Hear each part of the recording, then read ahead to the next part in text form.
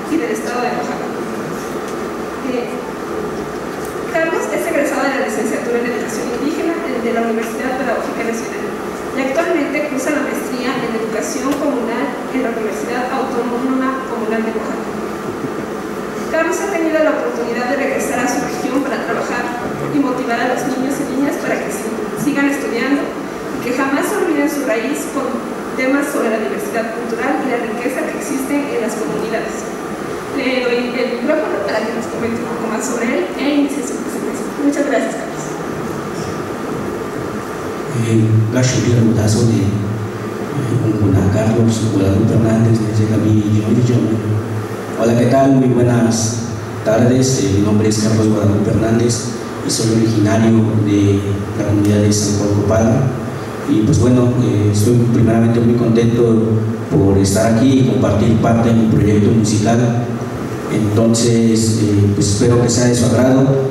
al final les voy a interpretar algunas canciones para que vean y escuchen parte de lo que estamos trabajando. Así que, pues nuevamente muchas gracias por la invitación y Espero que sea de su agrado esta presentación. Y pues bueno, en este, en este primer momento, pues la presentación se llama Rap en lengua Shnamuga, o como se le conoce comúnmente que es el Triki, eh, un proyecto que busca preservar y difundir la cultura. Bueno, eh, ahí pueden, checar las presentaciones voy a parar de este lado por irles explicando. Eh,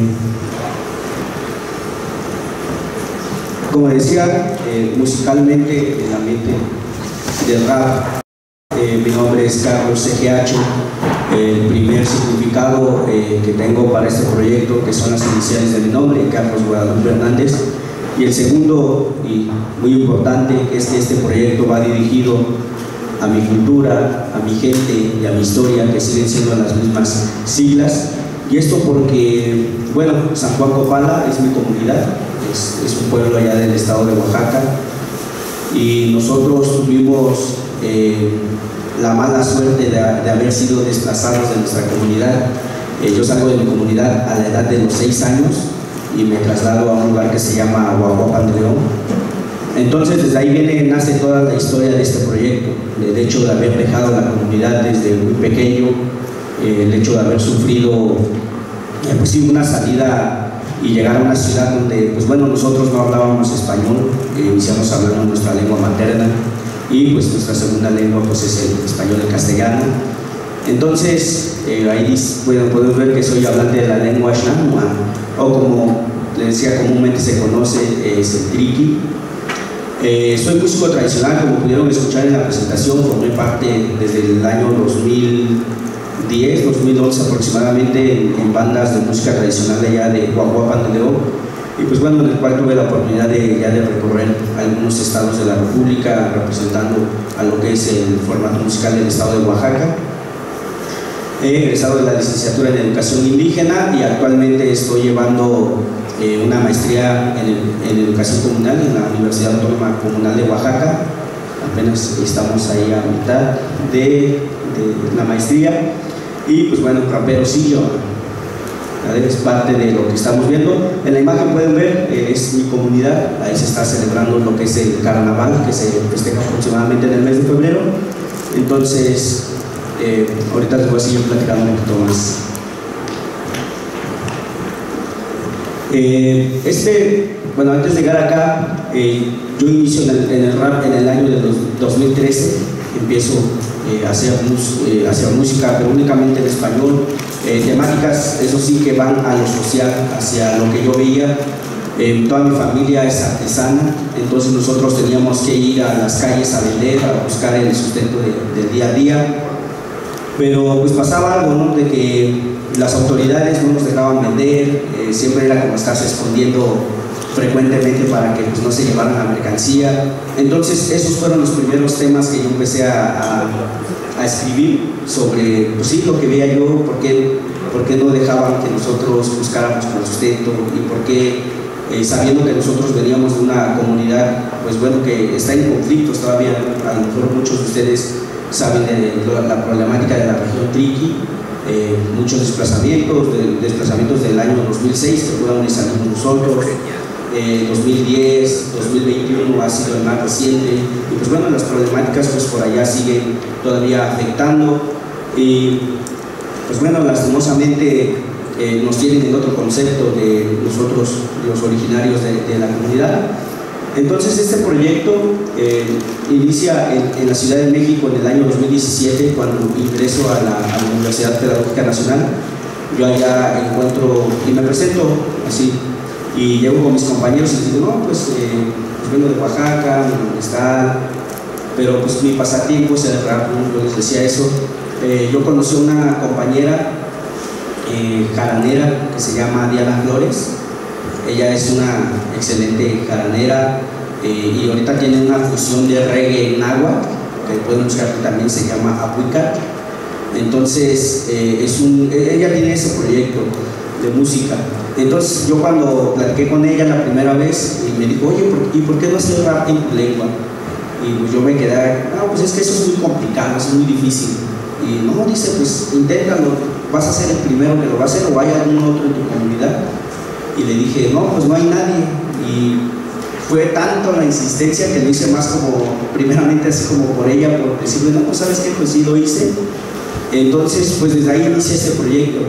Y al hecho de, de llegar con, con, la primera canción, que fue un proceso de aproximadamente nueve meses, y pues ya veníamos aquí en un cambio, ¿no? de que como todo el proyecto es autogestivo, eh, entonces pues también viene una complicación del hecho de estar grabando constantemente, el hecho de estar eh, saliendo para, pues sí, pues para, para la inversión de una nueva canción, para la inversión de un nuevo videoclip, entonces entonces cuando inicia este proyecto, lo primero que tomo como referencia es porque mi cultura, mis tradiciones y mi lengua jamás olvidaré.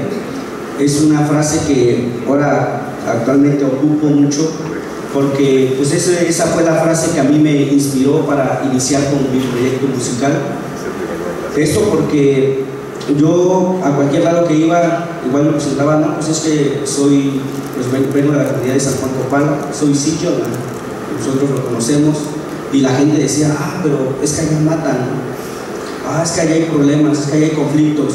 Y venía algo que yo les decía, no, es que ustedes conocen lo que comúnmente se ve en las noticias, en internet, todo eso. Pero digo, mi comunidad no es todo eso. en mi comunidad hay cultura, hay danza, hay música. Entonces de ahí nace como la inspiración de decir, eh, pues dije, no, pues ahora les voy a presentar todo lo contrario a lo que conocen las personas de la comunidad. ¿Alguien ha escuchado de hablar sobre los basquetbolistas que jugaron descansos? ¿Alguien? Pues ellos son de mi comunidad y ellos para mí fueron una, una inspiración porque, pues sí, al principio pues el recurso y todo, pero eh, creo que ellos, para ellos no fue pretexto el hecho de llegar a ir a Estados Unidos donde pues, eh, básquetbol pues, también es una, una potencia y pues traer primeros lugares, eh, fueron a Argentina, fueron a Barcelona y a muchos lugares uh, y pues bueno, con, y, muchas personas decían, no, no, pues es que a lo mejor eh, nada más es para llamar la atención el hecho de usar o jugar descansos, pero pues no, es la vivencia de la comunidad, eh, nosotros estamos acostumbrados a, regularmente a estar descalzos, andar en guaraches, eh, subir las montañas, porque pues es lo que nosotros tenemos y toda la riqueza que tenemos en nuestro territorio.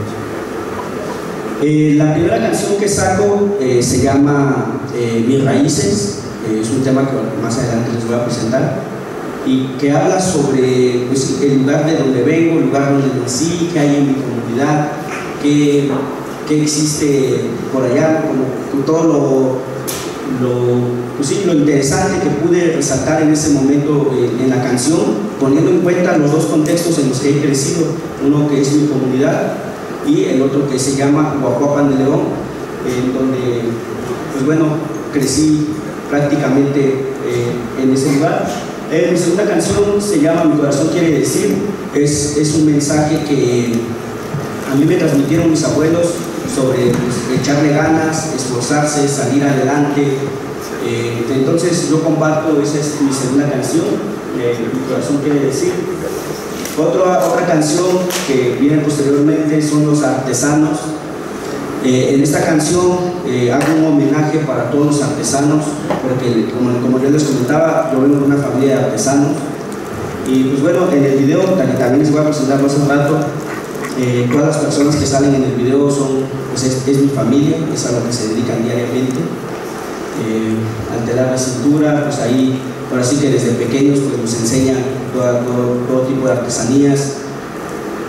Una tercera canción se llama eh, Tierra del Sol, una canción y un homenaje que hago a la, a la ciudad que me vio crecer prácticamente eh, y en un formato que es un formato nuevo que estoy haciendo ahorita con, con la música, que estoy fusionando rap con, con la música de Oaxaca, con la música tradicional y pues por último, una canción también, un homenaje para todos mis paisanos que se llama Hermanos Triquis. Y les platico este video eh, que también van a poder ver. Eh, yo tenía aproximadamente 12 años sin ir a mi comunidad, 12 años sin ir a mi pueblo. Y pues yo regreso gracias a esa canción. Hablo porque también no es fácil el acceso, está un poco complicado la situación por allá. Pero tuve que hablar con la autoridad, tuve que pedirle permiso eh, tuve que mostrarles la canción, eh, tuve que decirles cuánta gente llevaba a la comunidad porque eh, ellos nada más me, dijeron, tienes este espacio para grabar, porque pues, igual para que no haya problemas, no vaya a pasar algo, se vayan a espantar. Entonces ellos pues nos dan un espacio que es enfrente de la iglesia para grabar esa canción y pues fueron, fueron dos, dos, tres horas que estuvimos en la comunidad pero fue también ese tiempo que me trajo eh, muchos recuerdos de mi comunidad, el hecho de haber, eh, fui a ver mi casa, bueno, estaba la casa que teníamos con los papás, y pues bueno, una casa destruida así totalmente, ya sin techo, todo derrumbado, por, por, el abandono de muchos años de, la, de, pues, de que fue la casa. Eh, parte de este, de este proyecto también es algo muy importante. Yo regreso a mi comunidad para trabajar con los, con los niños, con los jóvenes, porque yo vi un, una respuesta muy, muy, muy grande hacia las canciones que había subido. Eh, pasa primero con la canción de Mis Raíces, que les digo que fue la primera que subí. Esa canción eh, inicia, la subí un 24 de diciembre, y pues bueno, yo me fui, nosotros íbamos eh, de vacaciones a visitar a la familia, entonces, y a los lugares que vamos, pues no, prácticamente no hay señal. Entonces yo subo la canción, regularmente las canciones anteriormente tenían 300 eh, vistas, 400 vistas, entonces pues como que no pasaba de ahí. Entonces nosotros subimos el video a, Facebook y pues yo lo subimos a las 10 de la mañana y yo me quedo sin señal a partir de ese momento. Hasta el otro día que nosotros regresamos nuevamente, como al lugar donde había señal, eh, entré a ver y me di cuenta que el video llevaba eh, como 28 mil reproducciones y lo estaban compartiendo demasiado y como que primeramente no me lo podía creer y dije, y luego el otro miedo que yo tenía era de cómo iba a responder las personas de mi comunidad, porque el género de rap en todos lados está muy mal visto, eh, más en las comunidades es como un género musical, pueden aceptar casi todo menos el rap, como que está muy restringido. Entonces, pues hice algo que a veces eh, no, no, se recomienda mucho hacer, que fue entrar a ver en los comentarios. Entonces, este, pues ya empezaron los comentarios y dije, ¿no? Como que sí le está gustando a la gente. Yo veía a, señores, ¿no? Comentando, oye, pues está muy interesante lo que estás haciendo, eh, deberías hacerlo más. Eh, las señoras, que también es, es como las, las, madres de familia que son los que no tienen permitido mucho que sus hijos escuchen, era como, ah, no, la motivación. De que, oye, está muy bien lo que estás haciendo. Y de ahí empieza, de ahí empieza como poco a poco esta, y esta, estas ganas de seguirlo haciendo. Y yo decía, eh, si lo, lo, que puedo aportar para mi comunidad puede ser esto, quizás no únicamente en el género rap, sino buscar eh, niños y jóvenes que escriban, que escriban en la lengua, que es algo que nosotros eh, pues tenemos muy, muy rezagado todavía. Y pues bueno, de ahí inicia este proyecto de trabajar con niños y lo inicié aquí en la Ciudad de México, en la comunidad Triqui de Candelaria y pues con ellos empiezo a asistir a darles primeramente taller en, la lengua, porque ellos son eh, la generación que ya creció aquí en la ciudad y que pues bueno, prácticamente durante el día no están con sus papás porque sus papás se dedican a vender, ellos prácticamente les tienen, no en un abandono, pero sí no los ven parte del día, pero lo que tiene esta comunidad eh, es que él, la misma comunidad está impulsando, está buscando personas que estén en constante eh, sí, con contacto con los niños para que ellos sigan conservando lo que es la lengua, eh, la cultura. Y apenas el 30 de abril eh, estuvimos por allá en la comunidad Triqui en un carnaval que celebra, el carnaval Triqui. Y pues bueno, prácticamente todos los que participan son los niños. Y algo que a mí pues me motiva mucho es de que llegan los niños y empiezan a cantar con mis canciones, o les digo, no, o apréndete la canción en una presentación que tengan, pues vamos a cantar.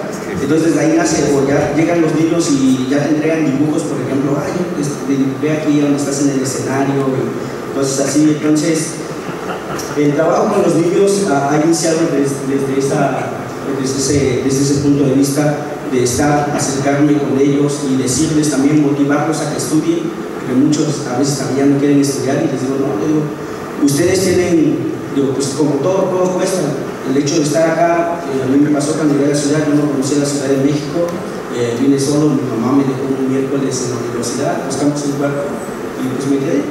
El único consejo fue no vayas a salir porque pues, está muy peligroso la ciudad.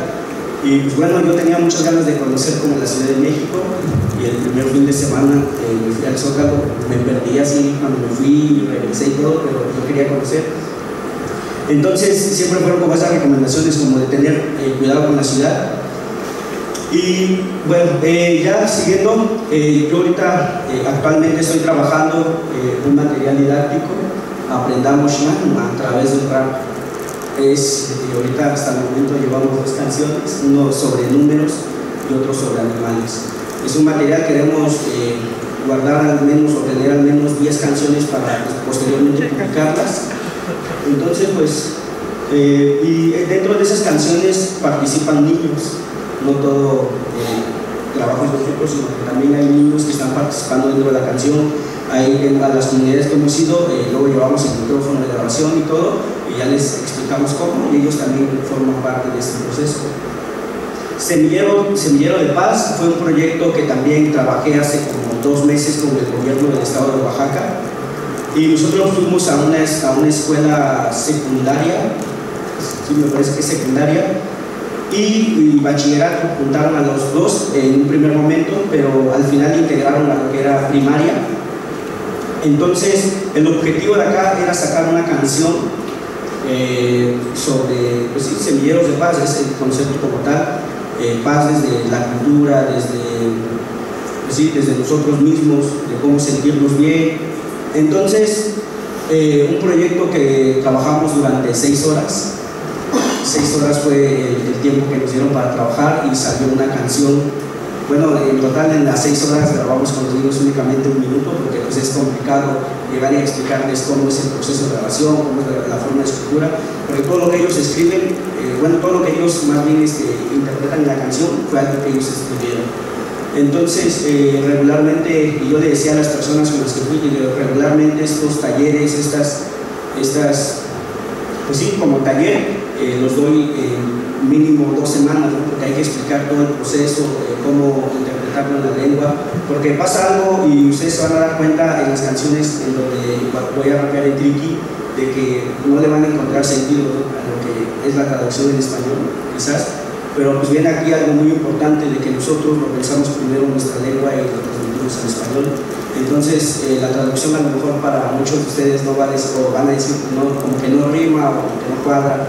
Entonces, es algo que, hemos estado trabajando, eh, pensar primeramente desde nuestra lengua materna para después transmitirlo al español. Entonces, porque pues, prácticamente es una interpretación muy, diferente. Eh, rap, eh, rap, banda y danza es un nuevo proyecto que estoy trabajando actualmente. Eh, estamos, estamos trabajando lo que es el primer material discográfico. Eh, y pues bueno, ¿de qué trata esto? Es de que yo agarro lo que es eh, la música tradicional de Oaxaca.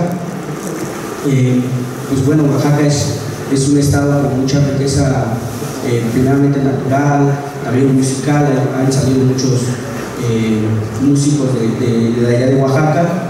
Y pues bueno, lo que queremos eh, transmitir es llevar toda la cultura eh, oaxaqueña. Entonces, eh, los formatos de presentación son de banda, música tradicional, como les digo, vamos mezclando entre, entre diferentes géneros y ritmos del estado.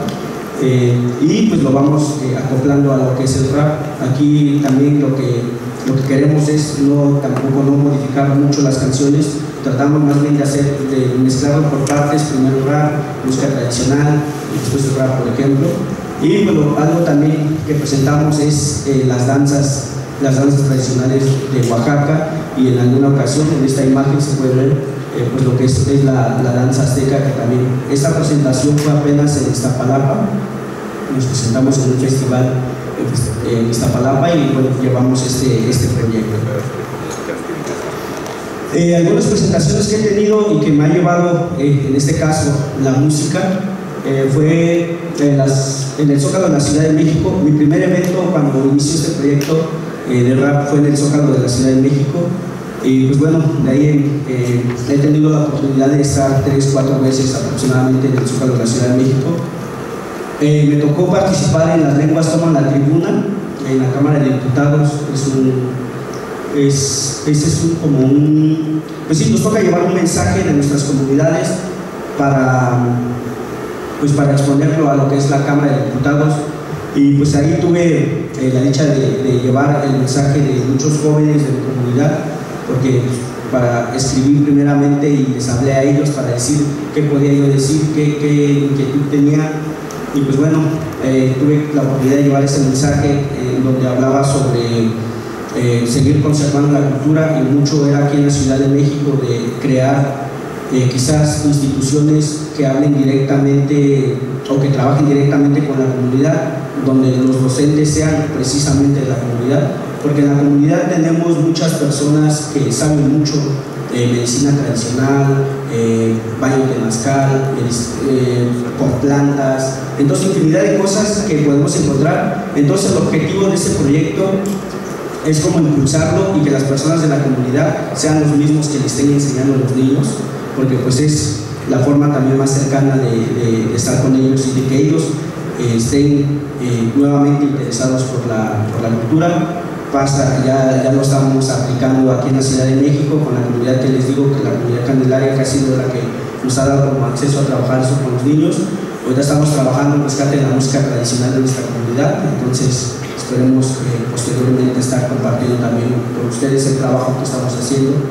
Eh, Monumento de la Revolución también me tocó estar en un par de ocasiones, en la Feria de la Canasta, en la segunda muestra lingüística indígena de la Ciudad de México, eh, también aquí en la UNAM, me tocó estar en las islas en la UNAM, en la segunda muestra lingüística también, en el Centro de Enseñanza para Extranjeros, también nos tocó compartir ahí un poco nuestra música, y en Iztapalapa. Estos son solo por mencionar como algunos eventos en los que hemos estado y que son como de, mucho, de mucho significado para nosotros. Y pues bueno, esto es parte eh, de, mi proyecto. Igual antes de pasar a las, interpretaciones y todo, pues quiero agradecerles a cada uno de ustedes que están por acá. Ahí pueden encontrar eh, lo que son nuestras redes sociales para que conozcan también eh, parte de nuestro trabajo, en dónde nos presentamos, pues sí, como qué estamos haciendo constantemente. Y pues bueno, si antes, antes de avanzar a las canciones, si alguien tuviera alguna pregunta, alguna inquietud o algo, también nos, puede, nos pueden preguntar y con mucho gusto respondemos. Así que pues vemos, igual pues nuevamente pues muchas gracias a ustedes que están aquí pues, esto es parte del proyecto Las Palabras de mi Tierra, para en lengua Muchas gracias.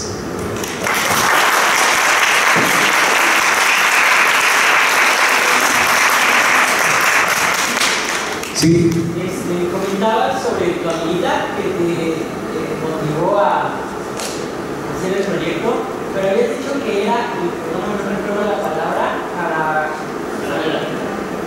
caramela. ¿Qué es caramela? Ah, es que, eh, bueno, ella, ella viene de una zona eh, que es de la Huasteca hidalguense, entonces allá tocan guapangos. Entonces, con, con, la jarana es como, como, una guitarra, ¿no? Puede decir, una guitarra así pequeña. Entonces, eh, ese es como, bueno, es lo que toca ella. igual ella toca la jarana en su grupo de, de reggae en agua. Ahí este, pueden buscarlos como Aguicat, el canto del agua. Ahí tienen ellos también. Y tenemos canciones con ellos y estamos por grabar pues, un videoclip con ellos también. ¿Alguien más?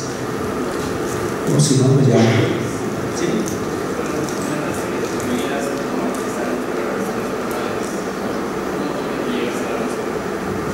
Oh, eh, toda mi familia se dedica justamente a lo que es el telar de cintura, el trabajo que podemos observar aquí, el telar de cintura.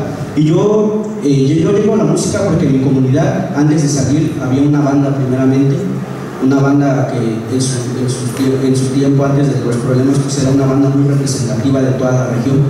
Y siempre tuve como, yo como que era mi idea, como que pues, cuando crezca y tenga como la edad para formar parte de la banda, pues lo voy a hacer salgo de la comunidad, entonces eh, salgo todavía con esa inquietud de querer formar en una banda, querer estar en una banda. Entonces eh, llego a la secundaria y es allá donde hay una banda, un taller de banda, me integro a la banda y posteriormente, eh, pues pues las ganas, yo lo, que les puedo decir es que yo iba bien mal en la escuela, yo salí con un promedio muy bajo de la primaria a la secundaria, pues por lo mismo, porque yo ya no tenía ganas de estudiar, porque en la escuela bueno, había sufrido maltrato por maestros, compañeros y infinidad de cosas que pasamos porque pues, justamente no podíamos expresarnos o no entendíamos en lo que ellos nos decían. Entonces era eh, así. Entonces yo cuando entro a la secundaria, el maestro me dice, ¿sabes qué?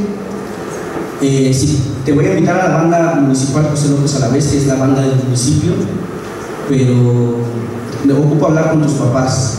Yo le dije, sí, pues ya yo llegué bien emocionado con mis papás y les dije, no, ¿saben qué? Me invitaron a formar parte de la banda. No, pues no vas. Y yo dije, no, pues, no, pues miren, vayan a hablar a ver qué, qué piden. y ya llegué, me, se presentó el maestro, dijo, no, pues es que Carlos pues está, está echando ganas pues, a, la banda de la escuela y lo queremos invitar para que forme parte de la banda municipal. Y mi papá, mis, pues, mis papás dijeron, no, pues es que Carlos va muy mal en la escuela, tiene problemas de trabajo, va reprobando.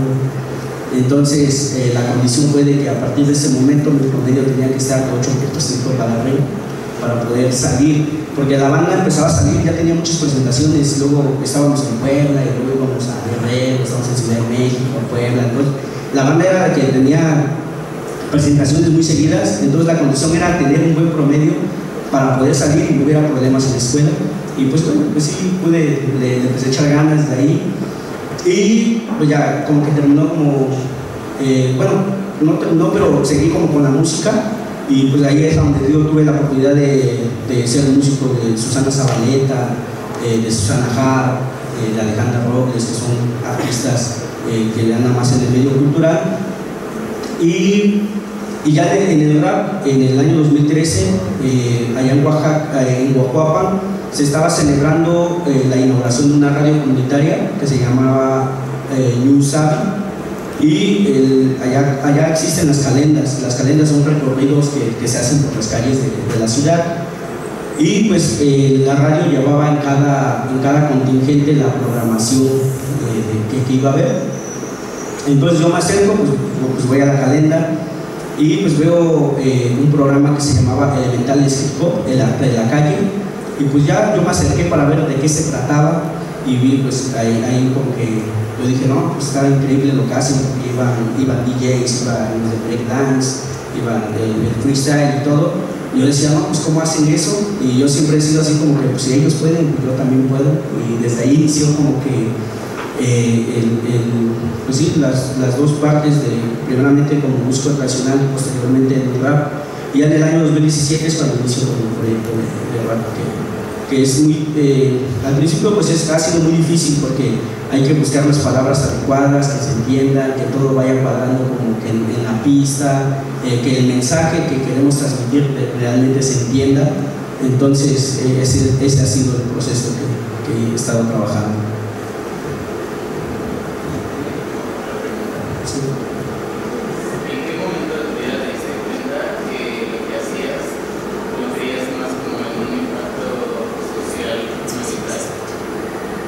eh, bueno, repito, como en qué momento de tu vida te diste cuenta lo que estabas haciendo, ya fuera música o cualquier otra cosa, querías llevarlo más allá como solo producción musical, pues para vender o para hacer algo como en apoyo a los niños, a tu comunidad, porque pues lamento decir que casi todas las personas que trabajamos con cuestiones sociales humanitarias pasamos algo como ¿Qué fue lo que te detonó para no solo hacer música, sino hacer música con impacto social o querer acercarte, por ejemplo, a niños que sigan estudiando?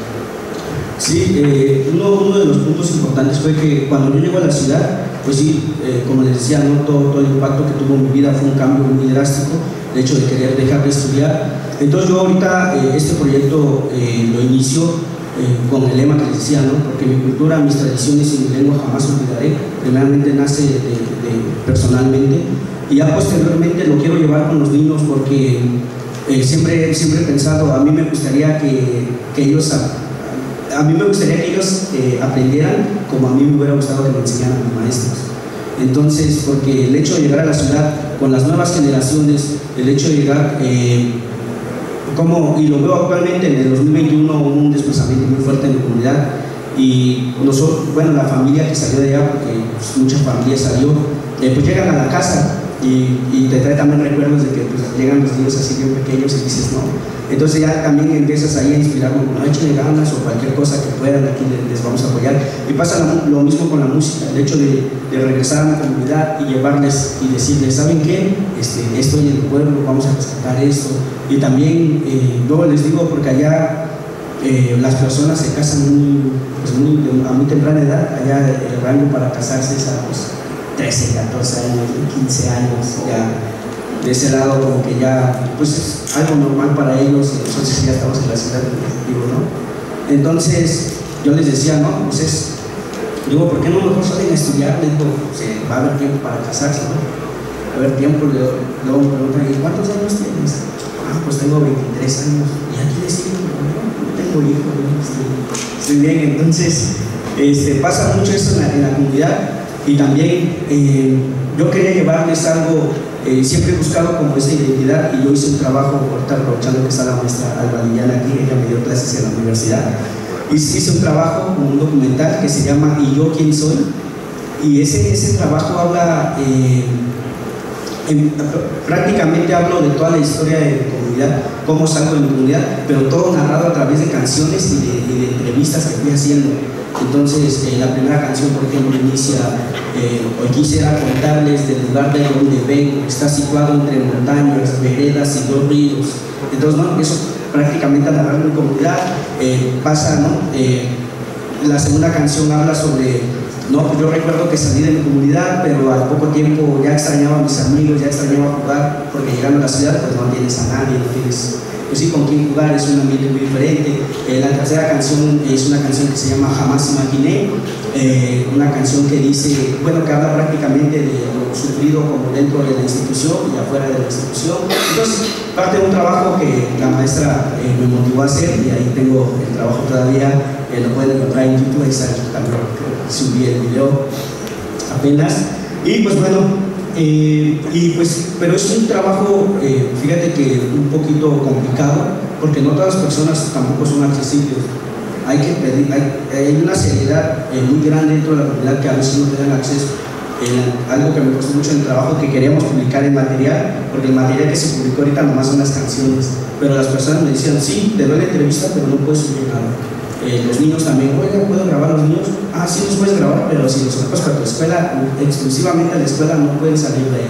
Porque también todavía existe el miedo de que en la comunidad nosotros también, eh, nosotros a veces, por eso muchas veces no digo de bueno, sí digo de dónde vengo, pero no digo la problemática por la que salí de mi comunidad, porque allá como, pues sí, en todos lados están divididos sus organizaciones y todo, entonces yo mejor les digo, no, pues prefiero llevarme bien con todos y así ha sido hasta ahorita, porque también. Pero ese, ese impacto con los niños, hasta ahorita creo que en los últimos años, creo que los papás ya han volteado a ver como que la cultura y decirle, no, pues porque nos estamos dando cuenta que se está, están desapareciendo las lenguas, está desapareciendo la cultura y más aquí en la ciudad. Entonces es por eso que pues el acercamiento con los niños y es por eso también que yo eh, muchas veces les digo, pues yo, les echo la mano, yo les echo la mano y digo, también cuando, eh, cuando estén mis posibilidades, porque también eh, pues a veces hay que estar viajando, yo viajo muy constantemente a la ciudad de Oaxaca, porque pues allá está mi familia, vamos a trabajar a las ferias, vamos a, pues, sí, pues a buscar el sustento de, pues, de la familia, porque pues, nosotros somos tres hermanos, mi hermana pues, la más grande ya, ya se casó, y mi hermano más pequeño pues ahorita está estudiando lo que es medicina en Oaxaca entonces también buscamos, porque los años que yo estuve estudiando la licenciatura, él se dedicó a trabajar con mi mamá y ahora que él está estudiando, pues ya me toca pues también ayudarlo. Entonces parte como de lo que hemos estado trabajando, le digo, todo inicia desde la familia y después transmitirlo, pero siempre con...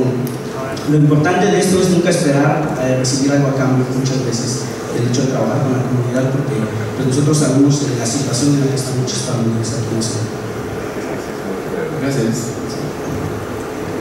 Eh, ¿Alguna otra pregunta o pasamos a nuestra presentación? Eh, esta primera canción que les voy a presentar se llama Mis Raíces. Eh, lo que van a encontrar en este video va a ser la danza, una danza muy icónica de la región mixteca, que es la danza de los diablos. también lo que es la vestimenta tradicional de mi comunidad. Así que espero que les guste y conozcan un poquito de mi música.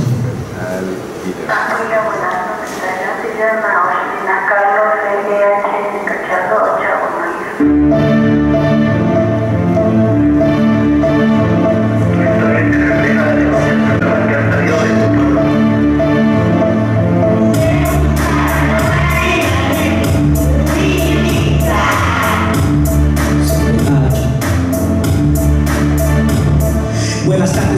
noches, aquí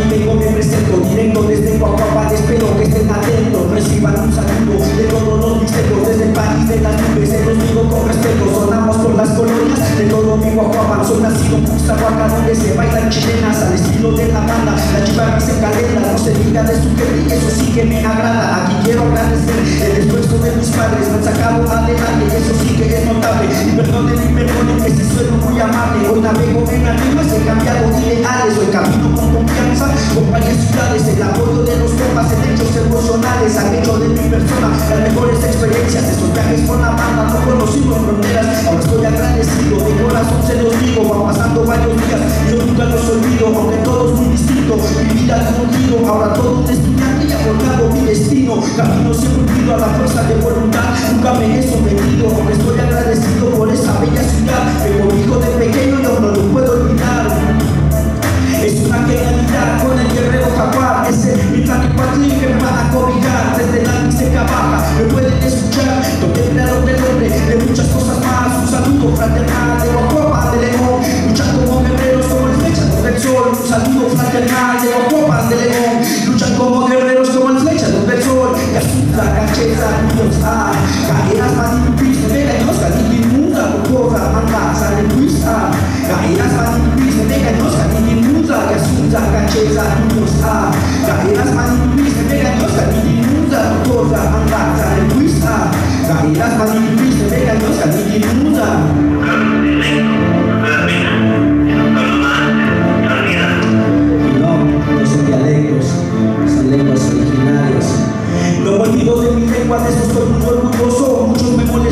de eso no me olvido. Que si jugaron descalzos y trajeron campeonatos descalzos de la montaña, así fueron apodados. Ahora marcamos territorio, en cultura preservamos la palabra del abuelo, siempre será recordado. Que les digo, sigo viajo, claro, vengo preparado, claro, vengo desde abajo y nunca me he quejado. Conservamos la cultura, esto lo mencionado, los telares de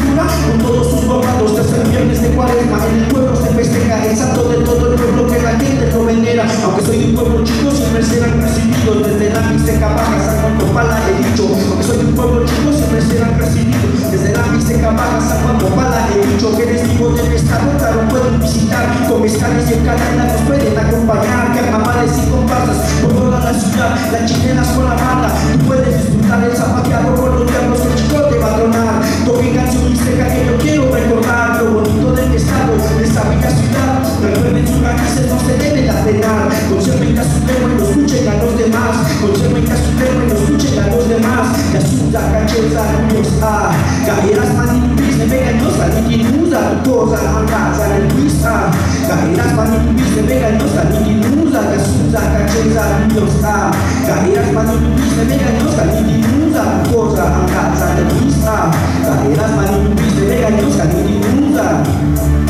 Bueno, esta es la canción de, de Raíces. Espero que les haya gustado.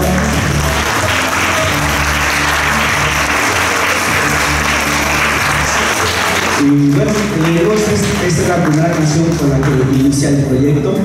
Esta canción luego fue eh, proceso de siete meses. Y pues bueno, lo que pueden encontrar, digo, la danza de los diablos es una danza muy característica de la mixteca y no, no es este, alusivo al diablo como tal, así como nos dicen ¿no? muchas veces. Es una danza, es una historia de, de una comunidad que se llama San Diego Juxtlahuaca. Y pues bueno, eh, esa danza eh, pues es muy característica, eh, es mi municipio, el lugar donde nací. Me acuerdo que desde muy pequeño pues mis papás me llevaron a ver la fiesta del pueblo y siempre era la danza de los diablos el que estaba en todo momento. Entonces, por eso eh, quise plasmarlo ahí, eh, la vestimenta tradicional de mi comunidad. Entonces, y es la danza, eh, en el mes de julio se celebra esta danza, 24, 25 y 26 de julio me parece. Y pues bueno, algo muy característico de esta danza es de que pues hay ya actualmente muchos danzantes y ninguna máscara se repite, ninguna es igual y aproximadamente cuando ya es la fiesta, la primera fiesta, salen 700, 800 danzantes y pues bueno, una fiesta increíble. Eh, y pues bueno, esa fue la primera canción de, de mis raíces. Eh, por aquí traigo otra, otras canciones.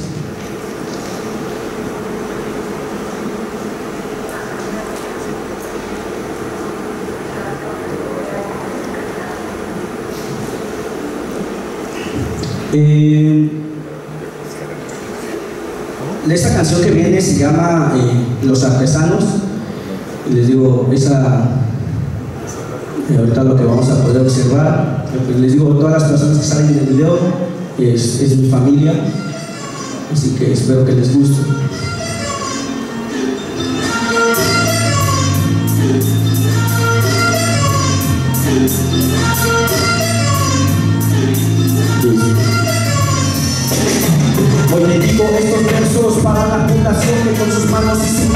Hecho su profesión. Artesanos son llamados y lo hacen de corazón. Las destrezas con la mano y mucha imaginación. No hay horas de descanso ni vacaciones en la playa, mucho menos un salario que la gente ya no paga. Cada día más artesanos se retiran de este oficio con la baja economía. La gente que no valora la uniforma también la Mishina línea y se la que idea. Juni yasumine ya yoni la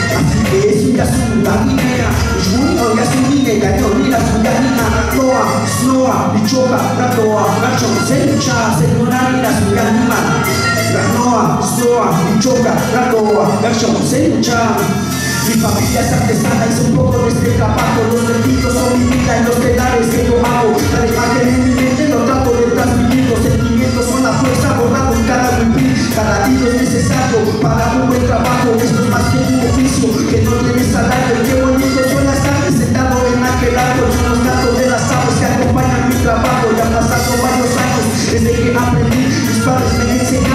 enseñaron las noches movilizas Mariposas de colores viven dentro de mí Cada imagen que vuela se refleja en mi La vida cambiará China y mía Dice la que hoy va y en la gloria. Así que es una segunda línea Junto ya se mide la gloria Su planina, la noa, sloa, choca, la toa Yo se lucha, se no hay la su planina La noa, sloa, choca, la toa Yo se lucha con total dedicación para cada uno de los artesanos de este país, mucho cariño. La magia está en las manos mientras se está trabajando, no hay tiempo que perder, pues espera el resultado, son colores que resaltan. En todo momento, en los collares las mujeres, empeño, la niña más pequeña. Hoy ya quieren aprender, el niño y su papá ya se ponen a tejer, es la familiar que no se debe de olvidar, la importancia del trabajo se tiene que representar, los artesanos son la muestra del respeto y humildad, los artesanos son la muestra del respeto y humildad. Bueno, eh, como les digo, podemos ver algo muy característico del Bermejo, que son los lupiles eh, de color rojo.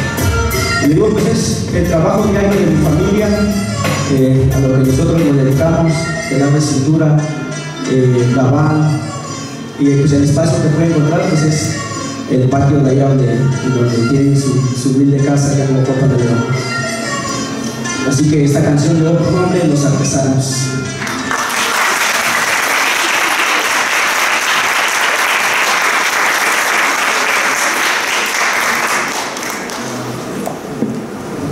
Bueno, pues ya, eh, muchas gracias, espero que les haya gustado. Ahorita al final eh, eh, les interpreto otra canción, pero los digo con los, con los maestros, igual. Muchas gracias.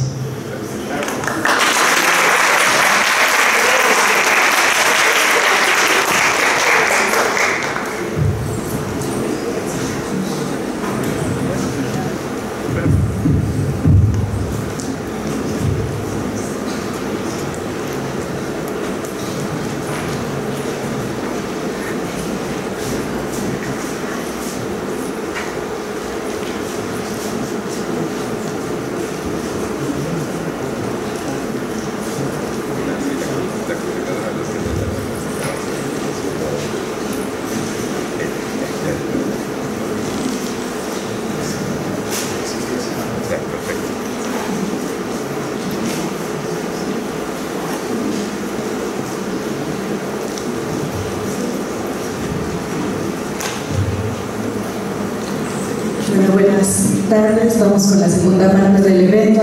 Agradecemos eh, mucho a Carlos el que nos haya dado una presentación de un tema que, que, que nos atraviesa también en, eh, a quienes nos estamos formando en pedagogía. Eh, las investigaciones y los trabajos en torno a la música en las lenguas y sobre todo bueno, mi pregunta iba un poco hacia el carácter pedagógico eh, de estos procesos en algunos de los trabajos que, que, se están llevando a cabo en el marco de, las tesis o trabajos de titulación, un poco esa es la pregunta, ¿no? Y me parece que con los ejemplos que fueron dando, eh, que fue dando Carlos en sus propuestas de intervención con niñas y niños, con eh, su eh, impacto también en otros espacios a través de las redes sociales, pues eh, tiene ahí un carácter de transmisión importante sobre la cultura, la lengua, las formas de interpretación, las estructuras gramaticales, que no es lo mismo, por ejemplo, que en el castellano, la mayoría de las lenguas eh, indígenas originarias eh, son tonales, entonces eso también cambia un poco eh, la forma en cómo estas estructuras se van configurando. Y bueno, esta segunda parte me parece que también será muy interesante justamente por pensar en qué se traduce todo esto y cómo ir generando cada vez más propuestas y proyectos en este sentido. Entonces les damos la más cordial bienvenida a este espacio Igualmente nos parece que la licenciatura en educación indígena que, que tiene la UPN pues está potenciando muchas de estas discusiones y qué bueno que podamos dialogar en este espacio eh, de la Facultad de Filosofía y Letras y en particular con el Colegio de Pedagogía. Entonces les agradecemos mucho a los tres que, que nos acompañan.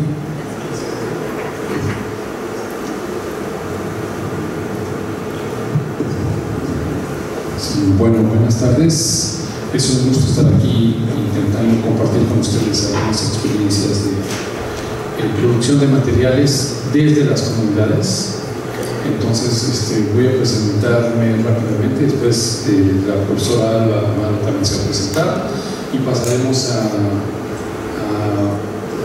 todavía no, todavía no. Este, pasaríamos después a presentar algunos elementos que conforman el proyecto que hemos trabajando, la maestra desde hace 12 años, yo tengo 3 años en el proyecto, entonces este, pues ya les iremos platicando y les vamos a presentar dos productos. Eh, entonces, pues yo soy licenciado en psicología y en sociología, no soy egresado de la UNAM desde CSH hasta el doctorado, entonces aquí regreso casa, creo que es la casa de todas las academias, o sea, eso no esta discusión. Eh, en el sentido de que ha sido la institución seminal, pero de eso no se trata la presentación. Este, actualmente soy profesor de la UPN y estamos trabajando en la ley y el proyecto, entonces quisiera no extenderme mucho porque nos va a pasar un poquito de tiempo. Entonces, le dejo la palabra a la maestra. Pues buenas tardes, es un gusto estar aquí con ustedes. Yo de plano no soy bonita por ninguna circunstancia. Mi formación es antropóloga de la UAM, Iztapalapa, y después hice el posgrado en CIESAS. Y trabajo desde entonces en la licenciatura en Educación Indígena de la Universidad Pedagógica Nacional, que quiero mucho además. Eh, reconozco como una institución bien, valiosa, bien importante. Y bueno, pues yo soy Alba, soy antropóloga y yo no voy a poner títulos ni nada por el estilo, yo prefiero contarles del proyecto si me permiten. Este proyecto nace hace 14 años, cuando en el área en la universidad te piden proyectos personales. Y yo trabajando en la ley, pues me di cuenta que primero había una circunstancia muy difícil de resolver y tenía que ver con el reconocimiento a la expresión de sus propias lenguas indígenas. Porque si, por, ejemplo, el triqui como Carlitos, bueno, pues no se entienden los de Chicahuaxtla, San Andrés de Chicahuaxtla como los de San Juan Copal. Hay variantes dialectales. Entonces, ninguna estaba por encima de otra. Así que pensé en un proyecto que surgiera de las comunidades a partir de los estudiantes de la ley en la ley, que es la licenciatura de educación indígena, de aquí en adelante le llamo ley, hemos tenido estudiantes de todas las etnias de la República Mexicana y de Guatemala, por ejemplo, los mamás. Entonces, pues ha sido muy, muy diversa. Eh, ahora el perfil de ingreso ha cambiado un poco, han entrado jóvenes de bachillerato que ya viven en la Ciudad de México, pero que tienen antecedentes de migración de comunidades rurales e indígenas por sus abuelos o por sus padres. Entonces, diría Michael Viviorca, migrantes somos y en el camino andamos. Pues, si nosotros nos ponemos a echar una ojeada a nuestra trayectoria, nuestro árbol genealógico, casi todos siempre tenemos algo de migrantes. Eh, mi madre oaxaqueña, igual que Carlos, soy oaxaqueña, y bueno, pues entonces se mete este proyecto y muchos estudiantes trabajan conmigo en la ley y después en el 2011 cambia la estructura curricular y se queda como una de las materias obligatorias en uno de los tres campos de formación que tiene la licenciatura, ahí en la pedagógica, y que es la educación comunitaria en contextos eh, multiculturales, que es justo uno de los este, campos a donde decidió Carlitos irse la, en la licenciatura. Bueno, nos vamos a esperar a ver si jala el, el PowerPoint pero bueno, en lo que ya saben que la tecnología es muy traicionera. Entonces, eh, este proyecto empieza, yo quiero decirles que eh, empieza de muy casero, de hecho todavía muchos de los materiales Muchos de los estudiantes lo están haciendo en sus propios celulares. No contamos con un super equipo de respaldo de producción. Pero tiene una característica bien importante. Y la característica es que los jóvenes van a las comunidades y ellos tienen idea de qué trabajar, pero se hacen asambleas comunitarias y la comunidad decide qué tema trabajar en esos materiales y qué material hacer. Si va a ser un material audiovisual, un documental, si va a ser un cuento animado, si impreso porque no hay luz y es una ranchería muy lejana.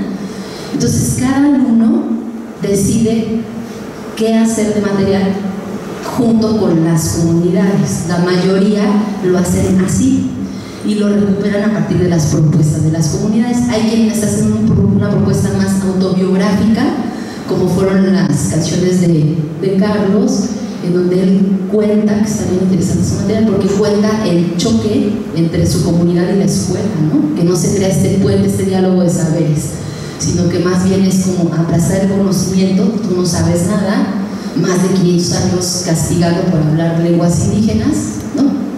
Y ahora se exige en muchos lados que hablen lengua indígena, ¿no? por ejemplo, para dar una beca. Entonces, bueno, todo eso lo estamos tratando con mucho cuidado en la, en la pedagógica.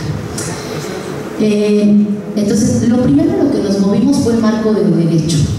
Esto partiendo de la Constitución y la Declaración de los Pueblos y Comunidades Indígenas. Si le puede pasar, por favor.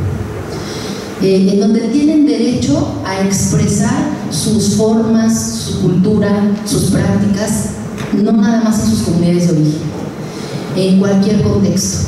Y tienen derecho a expresar su propia lógica cultural, su lógica de conocimiento y en sus propias lenguas, lo cual poco ocurre, ¿no? inclusive en las propias comunidades indígenas hay una desubicación lingüística porque mandan a profesores que sí hablan una lengua indígena pero no necesariamente corresponde a la lengua indígena a la comunidad donde lo mandan, ¿no? Entonces al final terminan hablando español.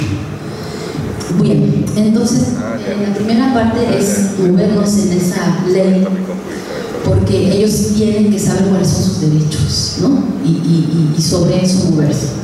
Después, eh, entender que las comunidades indígenas no están allá, nada más en los pueblos, en las rancherías, sino que hay un asunto de comunidades indígenas que son aquellas que forman una unidad económica y cultural con instituciones normativas y, que tienen sus propios sistemas.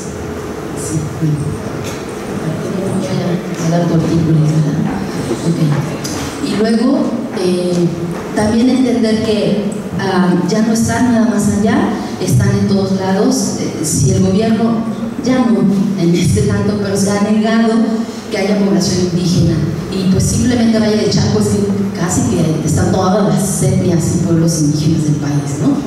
Como decía Carlos, tenemos un asentamiento en Candelaria, ¿no? Y entonces decir que no, que no hay indígenas, este, que gente proveniente de los pueblos indígenas es falso. Entonces también es mirar a todas esas comunidades que han llegado eh, a vivir ya como inmigrantes residentes en la Ciudad de México, ¿no? Eh, eso es muy importante también. Eh, luego, entonces, nos vamos a mover, yo les voy a contar la parte como más aburrida y ahorita ya dejo a David que les hable de la otra parte, pero nos estamos moviendo sobre el paradigma y la perspectiva de comunicación intercultural de, de Keynes, y este es muy importante porque fíjese que lo de interculturalidad nada más es una perspectiva más bien política, que suena mucho a soportancia, ¿verdad? O sea, tolerancia suena a soportancia, pero no existe la palabra. Entonces aquí más bien nos estamos parando sobre la creación de una atmósfera que promueva la cooperación y el entendimiento entre las diferentes culturas, la sensibilidad de entender las diferencias, pero además apreciar la singularidad de, la, de esa diferencia, ¿no? Entonces, tolerancia, es decir, mm, sí te, sí respeto, pero aléjate de mí, no, es como si convivimos y cómo aprendo a valorar esa diferencia, esa otra perspectiva, esa otra forma. Entonces, es pararnos sobre la flexibilidad para cambiar y adoptar alternativas y poder entender que ninguna cultura está por encima de otra, ¿no? Todas tienen sus propios procesos valiosos. Y, también con cuidado de no romantizar las comunidades indígenas, que de pronto también suele pasar que nos movemos sobre el esencialismo, entonces esto es maravilloso, no, tampoco, prácticas positivas hay en todos contextos, así como negativas. Eh, entonces, una de las cosas importantes cuando se, se empieza a pensar en el diseño de estos materiales tiene que ver con recuperar sus pedagogías propias. Fíjense que aquí les voy a hacer una nota muy importante. Los materiales que vamos a mostrar no folclorizan, como lo han dicho muchas instituciones. Me llevo re bien los del, los por ejemplo, pero lo que han hecho es folclorizar. Entonces ellos deciden qué tema les parece bien interesante, ¿no? Eh, ellos deciden qué material hacer y tienen chorro mil ochocientos millones de materiales. Porque además tienen 70 personas de la UNAM en el proyecto de, diseñadores, así que hacen cosas bien interesantes, pero no necesariamente en las comunidades se ven reflejados. Entonces, cuando hablo de recuperar sus pedagogías propias, no es lo, folclor, lo folclórico de una comunidad, es el día a día, es su vivencia diaria, sus formas de pensamiento, sus formas de socializar. Y ahí nos estamos viendo justo sobre las pedagogías propias. Por ejemplo, hemos encontrado que en algunas escuelas los profesores los castigan porque trabajan en colectivo y los niñitos les ayudan a los más pequeños. En las comunidades, en algunas, suelen trabajar así, este, muy eh, colectivamente. Entonces lo que están haciendo es querer evadir las formas propias pedagógicas de la comunidad ¿no? y les llaman no seas copión. Cuando eso puede potenciar la enseñanza y la socialización entre los pequeños en la escuela. Entonces, estamos tratando de recuperar las pedagogías propias. Luego, eh, las variantes culturales también, cada quien decide, generalmente son materiales bilingües, eh, y se van recuperando como el, metalenguaje, esas formas no, no verbales. Eh, se cuida mucho el color, la imagen, eh, se cuida el asunto de los patrones de pensamiento. ¿no? Se está recuperando todo esa, la perspectiva epistemológica de, de las propias comunidades. Entonces es involucrar a las personas Aquí nos movemos en el marco de las representaciones sociales, entonces la mayoría de materiales están hechos para las comunidades, desde las comunidades. ¿A qué me refiero? Que son las propias personas las que hacen los dibujos, son las propias personas que revisan el guion del cual va, a surgir el material, eh, son las propias personas las que eligen el tema, lo que falta, lo que hay que mejorar, corregir. Entonces, pues trabajan ellos, o sea, también son parte de, son autores, digamos, de la comunidad y eso también se cuida que los estudiantes de la ley, los que están en este proyecto, son sistematizadores, no son dueños del conocimiento de sus comunidades. Eh, y luego, bueno, también eh, ubicar las diferentes posibilidades audiovisuales que estén que sean pertinentes al contexto, ¿no? Les, les, repito, ¿para qué hacemos un documental si están en una ranchería en la Mixteca donde ni siquiera hay luz y no tienen computadoras? Pues es absurdo, entonces, ¿qué se tiene que hacer? Los materiales impresos. Y bueno, eh, otra cosa es aclarar las bases metodológicas. Si lo trabajamos mucho, o sea, qué perspectiva teórica van a, qué, proceso metodológico van a seguir los estudiantes, con qué cuidado van a entrar a las comunidades. Se cuida mucho el, asunto de, la etnografía, donde ellos no van a ir a imponer y van a cuidar mucho recuperar las voces, las necesidades y las expectativas de la gente de las comunidades. Eh, otra cosa que, tendrían que considerar los materiales que expresen la concepción del mundo y de la comunidad y por ende de la cultura. Eh, y bueno, en este sentido, eh, les, repito, se cuida el, color, el, sonido, por ejemplo. Pues, a quien no le gusta la música barroca, por ejemplo, pero que tiene que ver, por ejemplo, en un documental, tricky entonces se busca que las personas este, hagan la propia música este, para enmarcar estos, estos materiales si es que son audiovisuales. Eh, la estética, los colores que representen a la comunidad, los lenguajes que implican, los canales por donde va a transitar. transitar. Y bueno, y, Y de nuevo, los ámbitos de la vida cotidiana, que pues, casi nadie los ha tocado ni mirado. Y bueno, la significación de lo pedagógico y didáctico pues está inserta en el material educativo que está dirigido a una población en particular y que toma forma en el momento en que se recuperan y plasman sus métodos de indígenas y los procesos de enseñanza y aprendizaje emanados de las diferentes culturas. Entonces sí ponemos mucha, mucha atención. Ya voy a acabar. ¿eh? Otra, la importancia de lo visual para acercarnos a sus miradas desde una actitud intercultural. Eh, pues a nosotros de pronto nos gusta muchísimo meterles más color a las cosas en los programas de diseño, pero ellos, ellos proponen sus colores. ¿no? Entonces eso es bien respetable ir reconociendo las diferencias desde el marco de las representaciones sociales.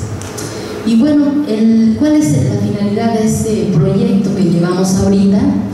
Eh, es pues, crear un diálogo de saberes en donde los contenidos escolares se, se anclen definitivamente desde las perspectivas epistemológicas, valorativas y pedagógicas propias que orienten el fortalecimiento de la comunidad, desde y desde las comunidades. Entonces no llegamos a imponer ni nada con los materiales, se han hecho materiales para apoyo para los estudiantes, para los docentes, para las comunidades, para las mujeres, cada quien decide de, los estudiantes y las comunidades el material. ¿No?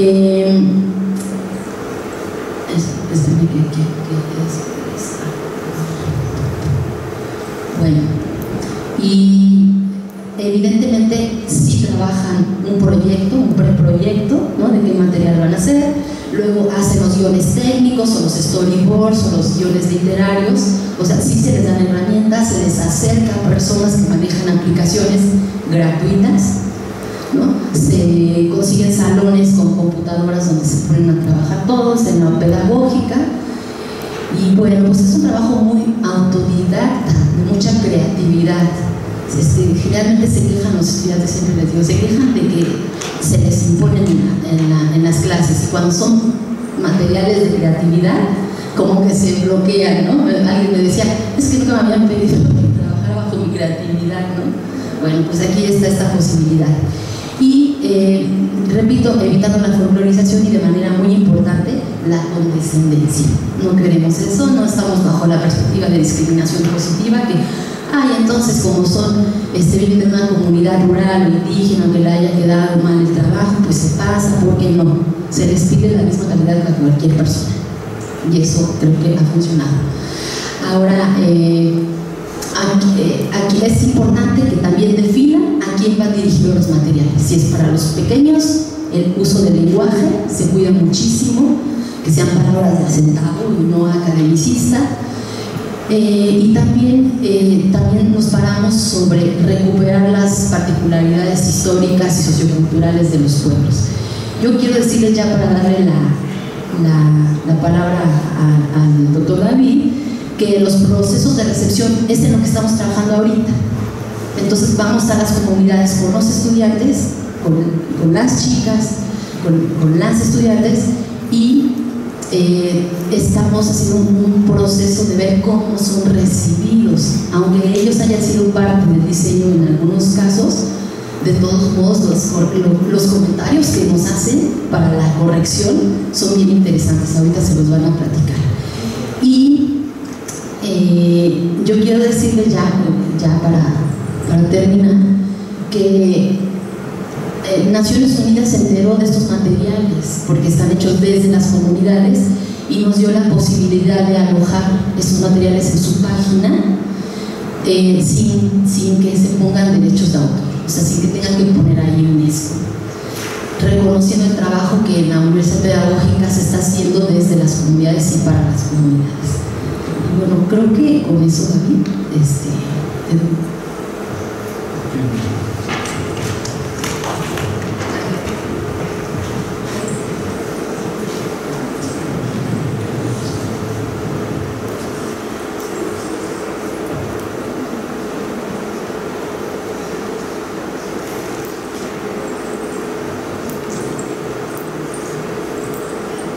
Bueno, pues entonces lo que les platica Alma, es que la idea entonces es producir materiales desde la comunidad, pero no desde una perspectiva naive, sino tiene que ver con un proceso de formación de estos alumnos que vienen de las comunidades y de lo que se trata es que recuperen su visión, sus narrativas y que pasen por el tamiz de una formación técnica que permita una un tipo de comunicación, digamos, más eficaz. Entonces, eh, la diferencia de nuestros materiales o los materiales que impulsamos, y aquí intento decir que el trabajo que hacemos es el verdadero, el único, el mejor, el único que los demás no sirven, es un enfoque diferente. Hay instituciones como Olimpia, que comentaba que tiene una cantidad de materiales impresionantemente bien hechos, pero poco interesantes, y que a la comunidad ni llegan, y cuando llegan no les dicen nada. Entonces, son materiales hechos para los de fuera, para mostrar que hay cosas en agua, que hay cosas en Mixteco, que hay cosas en Zapoteco, pero ni expresan a la comunidad, ni llegan a la comunidad, ni sirven como de elemento reflexivo para la propia comunidad, sino son elementos para afuera. Lo que nosotros estamos intentando es que las propias comunidades se expresen y que esto genere procesos reflexivos que permitan fortalecer la propia cultura, ¿sí? y entre otras cosas revitalizar el uso de la naturaleza. Entonces, dentro de nuestros eh, referentes conceptuales está el asunto de entender que cualquier producto comunicacional, como es un material audiovisual, eh, va a vehiculizar una idea, una idea de un autor, que en este caso pretendemos que sea que refleje para menos una parte del sentir de la comunidad. Entonces hay una intencionalidad, ¿sí? y también hay un sujeto de recepción, un sujeto que va a recibir estos materiales desde sus propios referentes. Luego hay muchos otros materiales técnicamente inclusive bellísimos, pero que no le dicen nada a la gente, como lo explicaba el maestro. Los colores, el lenguaje, etcétera, no reflejan a la comunidad e inclusive en algunos casos han sido rechazados por la comunidad, pues esto no somos nosotros. ¿no? Entonces esta idea de la enunciación y la recepción se vuelve fundamental en nuestro proyecto.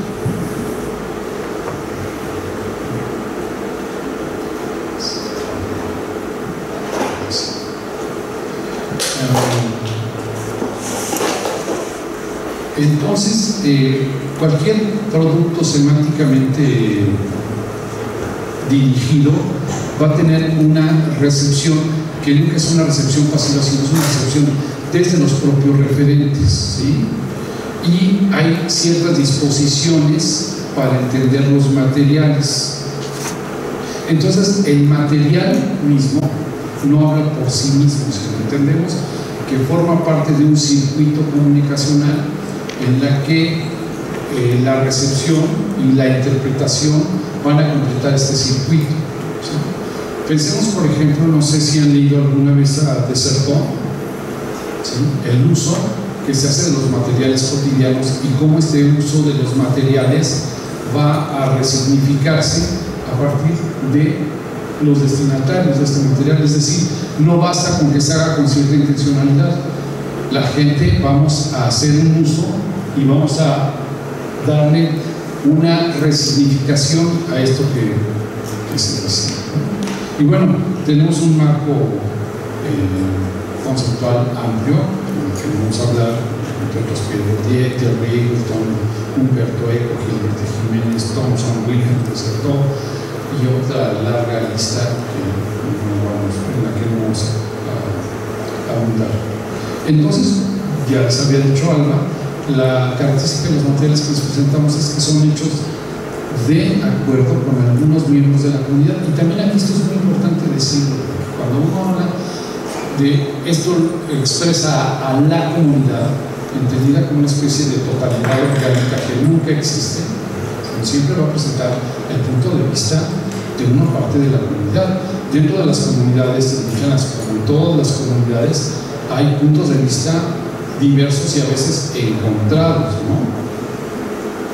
Este, vamos a ver un poquitito más adelante el asunto del material que produjo Romeo y cómo, eh, cómo fue recibido. Bueno, otra de las características de nuestro proyecto es que una vez hecho el material, el material se presenta ante la comunidad y se pide a la comunidad que exprese qué le significa, qué no le significa, qué le cambiarían, qué le pondrían. ¿no? De nuevo en esta idea pedagógica de ida y vuelta. Este, si se me permiten, si se me permite o si se nos permite con muchos ecos freirianos, inclusive. No vas tú a decirles, esta es la verdad, así son las cosas, así se tienen que ver, ustedes tienen que resignificarse esta verdad. Ustedes, ¿cómo se resignifican? ¿Qué harían? ¿Qué pueden producir? ¿Qué pueden reflexionar? Esto sirve, esto no sirve, etc. Entonces, bueno, el, siguiente, el material que voy a presentar a continuación, fue hecho por Romero, un alumno de la ley, eh, central de una comunidad llamada Chalán, cerca de un pueblo muy grande, de una comunidad muy grande llamada Oxchuk. ¿sí? Romeo, obviamente, al ser parte de la comunidad, tiene información de primera mano. Sin embargo, su paso por la ley va a hacer que él resignifique y cambie ciertos referentes. Esto es como muy importante, juega como una especie de cristal de refracción. Es de la comunidad, pero ya no es exactamente como un miembro de la comunidad que no ha salido y que se dedica a las, a las actividades tradicionales. Ya no, ya no expresa, digamos, si se nos permite el término, esta visión de la comunidad, entre comillas, que esto no existe pura, digamos, ¿no? Y es una visión resemantizada. Y también aquí, muy importante, es la, se expresa en este trabajo que hemos hecho la visión de las distintas generaciones. En otra práctica que, que acabamos de hacer, eh, fue muy interesante aquí en una comunidad de, la montaña de Texcoco que se llama Santa María de Cuanulco, como distintas generaciones de la misma familia inclusive no sostienen las visiones exactamente Bueno, entonces presentamos el material a diversos grupos de la comunidad. El material fue recibido con mucho interés porque este tipo de cosas no suceden muy a menudo. Y eh, eh, cuando expresamos sus puntos de vista, a la gente le emocionaba mucho verse expresar.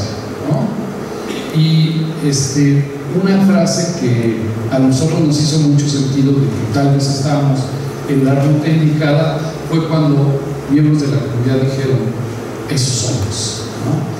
ahí nos vemos. O sea, esa es la visión folclórica que vemos de fuera, sí somos eso y eso nos interesa. Y de hecho, esa frase la tomamos casi como estándar, como si estamos dando en el clavo cuando mencioné una de las cosas. Hasta aquí podría parecer entonces que nuestro maravilloso y que todo iba perfecto. Sin embargo, y por fortuna, este, estos procesos de recepción mostraron matices con respecto a la manera en que las imágenes condensan los significados, ¿no? aún hechas por uno de sus miembros. Entonces, el material que vamos a ver está hecho por dibujos. ¿Sí? Este, y dijeron, bueno, sí están padres los dibujos, pero a nosotros nos gustaría que fueran personas, que nos representen a nosotros en vivo, no que nos representen a través de dibujos.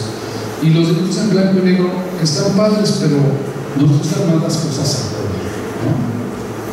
Este, y está muy bien que el material lo hayan hecho en español, porque bueno, otra de las características es que ahora todos nuestros materiales están hechos de manera bilingüe cuando se puede trilingüe tetralingüe, etc.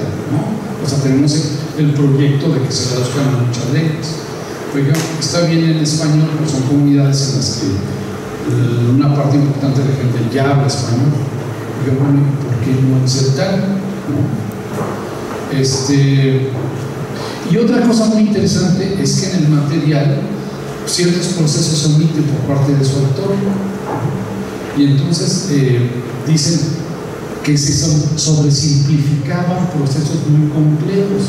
Por ejemplo, en el asunto de la milpa decían, ¿y qué? ¿El maíz llegó de aquí acá volando? ¿O no, o no lo transportaron las personas?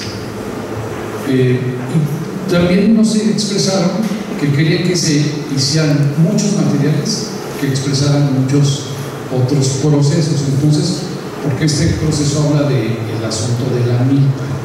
Y entonces, esto podríamos entenderlo como un indicador de estas ganas de verse reflejadas en muchos otros aspectos de su comunidad.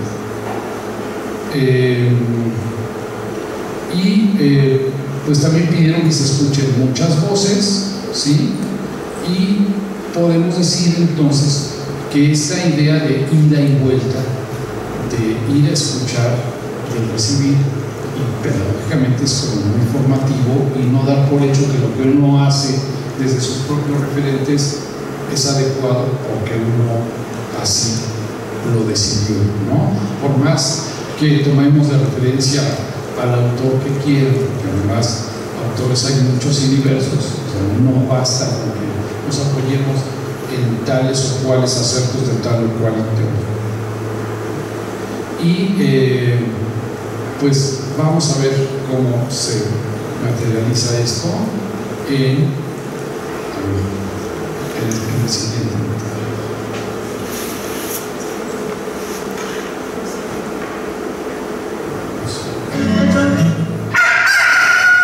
En la comunidad los niños trabajan la milpa, al igual que Tomás y Ana, que madrugan para ayudar a sus padres María y Manuel a trabajar el campo.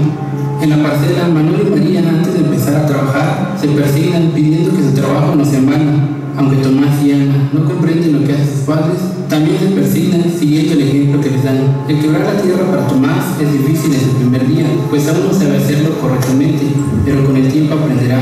Por eso sus padres lo llevan al campo desde niño. María, antes de la siembra, desgrana el maíz con la ayuda de Tomás y Ana para que aprendan a conocer qué maíz es bueno para sembrar. El día de la siembra, Tomás va detrás de los adultos, pues es su trabajo el sembrar frijol.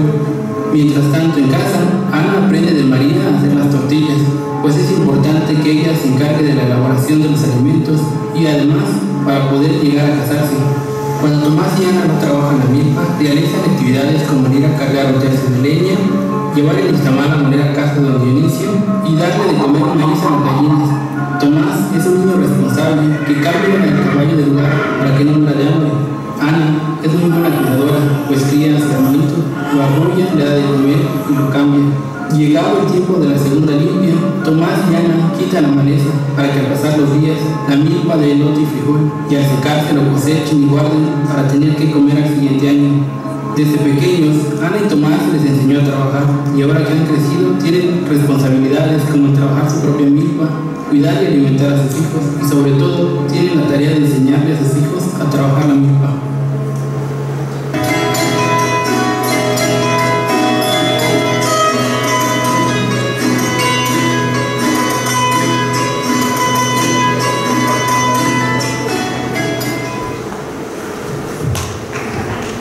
Bueno, pues esta es una foto de, de el local, en uno de los locales en donde se presentó el material, o sea, para que no crean que estamos inventando el asunto de los resultados de nuestra investigación.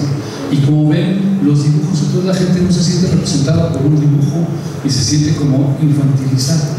Entonces queremos que nos presenten a nosotros, queremos personas reales, queremos color y queremos que hablen de muchas otras cosas y además ahí está simplificado. Entonces es como muy importante en términos de entrar en este contacto con las comunidades, eh, rompiendo esta idea de nosotros universitarios sabemos las cosas que ustedes no saben, nosotros les llevamos la verdad y nosotros les vamos a decir cómo hacer las cosas bien. Eso sería seguir reproduciendo lo que el recientemente fallecido Pablo González Casanova llamó hace ya muchos años y atinadamente el colonialismo interno. Entonces, estamos intentando trabajar con y desde la comunidad.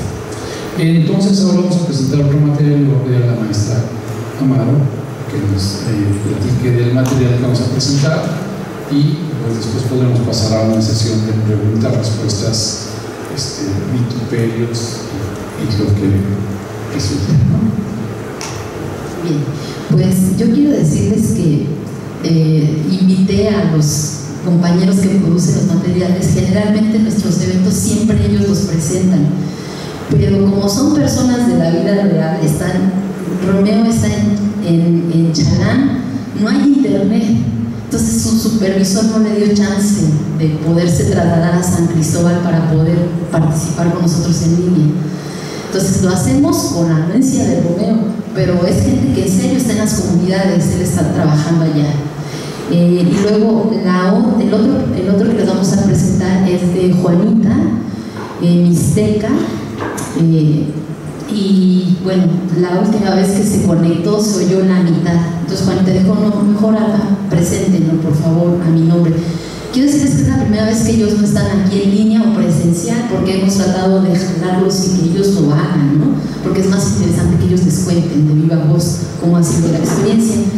Y antes de pasar a mostrarles el, a demostrarles el documental, quiero decirles que los dibujos que vieron de la animación de, que presenta Romeo, lo hicieron en la comunidad, o sea, ellos hicieron los dibujos, ellos habían decidido y ya cuando vieron el material final este, terminado, dijeron, ah, ah, no nos representan los dibujitos, no somos así de infantiles. Entonces, eh, es bien interesante cómo es un autoenriquecimiento y pues lecciones para, para los que estamos a cargo de, de, poder potenciar que en las comunidades, las comunidades estén expresándose, ¿no? Eso es bien importante. Bueno, del caso de Juanita, quiero decirles que en el caso de Romeo y de Juanita, Juanita, este, su tesis, este material que van a ver es como la condensación de lo más importante de su trabajo de tesis, de, de titulación. Juanita se tituló hace un año. Entonces estamos eh, anexando los materiales audiovisuales para quienes deseen hacerlo en sus, eh, en sus diferentes opciones de titulación, que puede ser tesis, tesina, autobiografías, hay diferentes modalidades para titularse y ellos están incorporando estos materiales a sus trabajos de titulación. Entonces, con Juanita, eh, yo les voy a dejar el video que corra, pero se metió un tema que vivía ella. Es un tema bien delicado, ¿no? Porque se metió al asunto de criticar a los partidos políticos, ¿no? Entonces, esos temas generalmente son muy sensibles, ¿no? Y te metes en bronca con los políticos y demás. Pero eh, Juanita se aventó y es una Juanita entró eh, eh, con muchas broncas de su propia identidad étnica y afortunadamente Juanita es una mujer bien empoderada ahora, ¿no? Ya le dije, no, vas a ser la próxima presidenta, Juanita, así como vas, ¿no? Entonces, más que hablarles de, de todo el proceso que, que, llevó, que ha sido bastante complejo, les dejo el documental, se los pongo en español, porque pues la mayoría no somos hablantes, ni vamos a entender el mixteco. Y luego les pongo un pedacito en mixteco nada más, ¿sí? porque están en los dos, pero se los dejamos en español.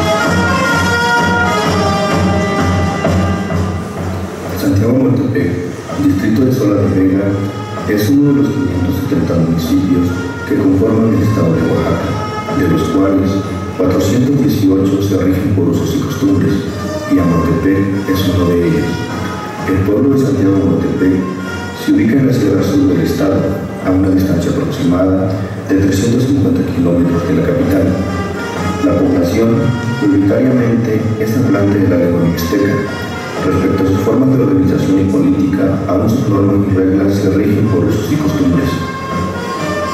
En la cabecera municipal de Santiago de Montepec, los cargos aún se mantienen, pero con sus diferentes modificaciones en las funciones de cada uno de los cargos. Esto debido a los partidos políticos que influyen fuertemente en las decisiones anuales. Es importante destacar que las personas de la comunidad tienen sus propias prácticas comunitarias, como el texto de las asambleas, y valores comunitarios, como la solidaridad y la cooperación mutua. El sistema de cargos, la asamblea y el texto a su vez representan tres de las prácticas organizativas más importantes de la comunidad, pues son el marco dentro del cual se estructura y organiza la vida comunitaria, empezando por las propias normas de participación, sus alcances, sus límites de obligatoriedad y sus mecanismos de decisión.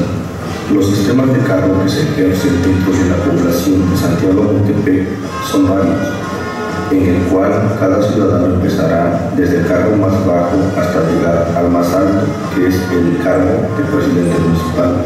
A continuación, hago mención de los principales cargos y funciones de nuestro sistema de usos y costumbres. TOPIL representa el primer cargo y es el vínculo con los ciudadanos, lleva los citatorios y cargos municipales y comunales al interior del municipio y fuera de él portero es el encargado de cuidar a los encarcelados. Al haber cumplido estos dos cargos, las personas ya pueden aspirar a los siguientes cargos. Regidor de obras, supervisa y da seguimiento a los trabajos de obra municipal. Regidor de Hacienda, forma parte de la Comisión de Hacienda Municipal, por lo que se trabaja en asuntos presupuestales junto con el síndico y tesorero. Regidor de Salud, gestiona asuntos relacionados con los servicios de salud en la comunidad, también tiene conocimiento sobre programas como Prospera y apoyos a adultos mayores. Regidor de Educación se encarga de los asuntos relacionados con las instituciones educativas, da seguimiento a las peticiones de las escuelas de la comunidad.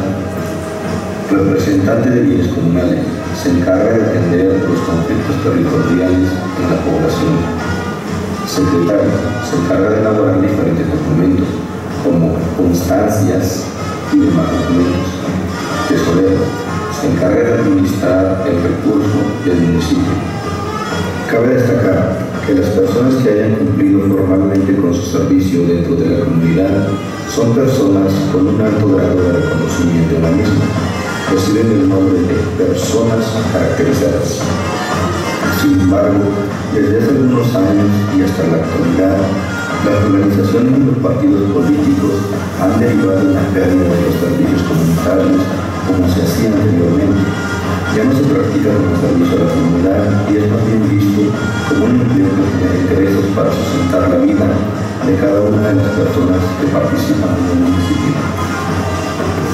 Esto tiene una enorme repercusión, pues se vislumbra el establecimiento de prácticas vivenciales que fortalecen los servicios comunitarios a partir de un asunto de bien común en la comunidad, también de apoyo, solidaridad y en general del bien y el aporte al pueblo, lo que se traducía en prácticas comunitarias que otorgaban un sentido de pertenencia e identidad en donde se van transmitiendo saberes, conocimientos y valores fundamentales para el bienestar de la población.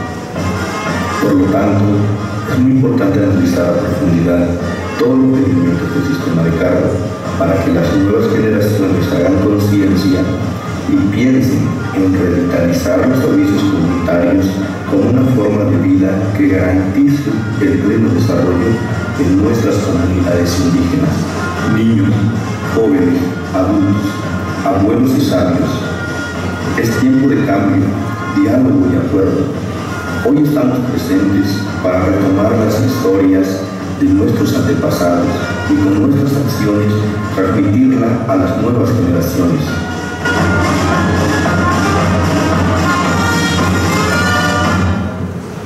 Les vamos a poner un pedacito este nada más para que vean, porque aquí lo que sí se les reitero que hemos intentado es que todas las, todas las producciones queden en los dos idiomas de tal manera que sean significativos para la comunidad y no se queden en un producto para pues solo un pedacito.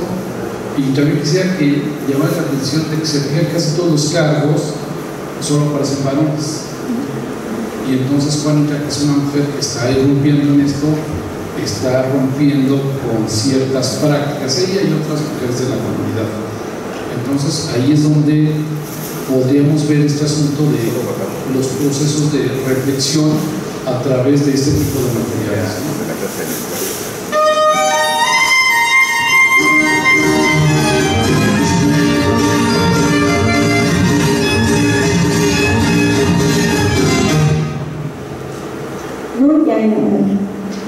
Nama sola de vega. Yan un siento un chico un chiripino chanya amun doa un siento doa cha un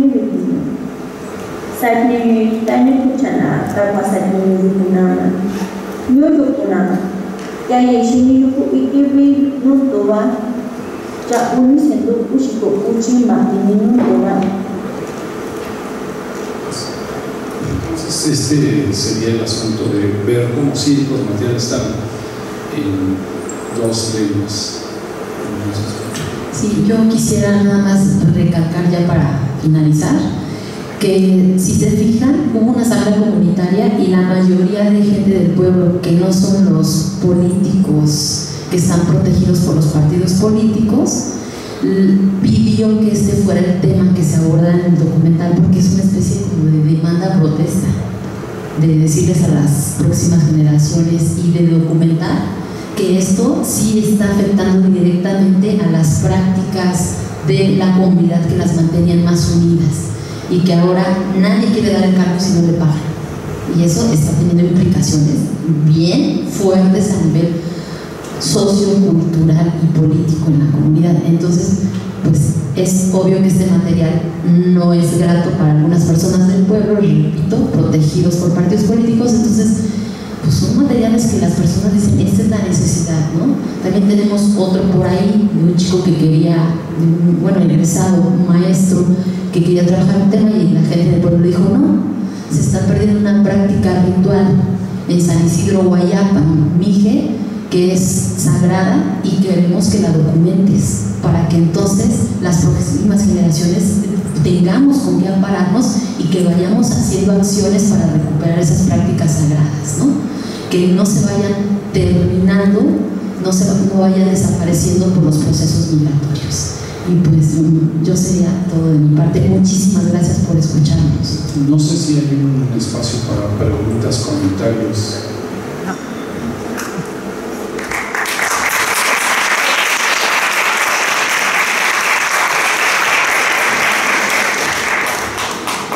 preguntas, comentarios.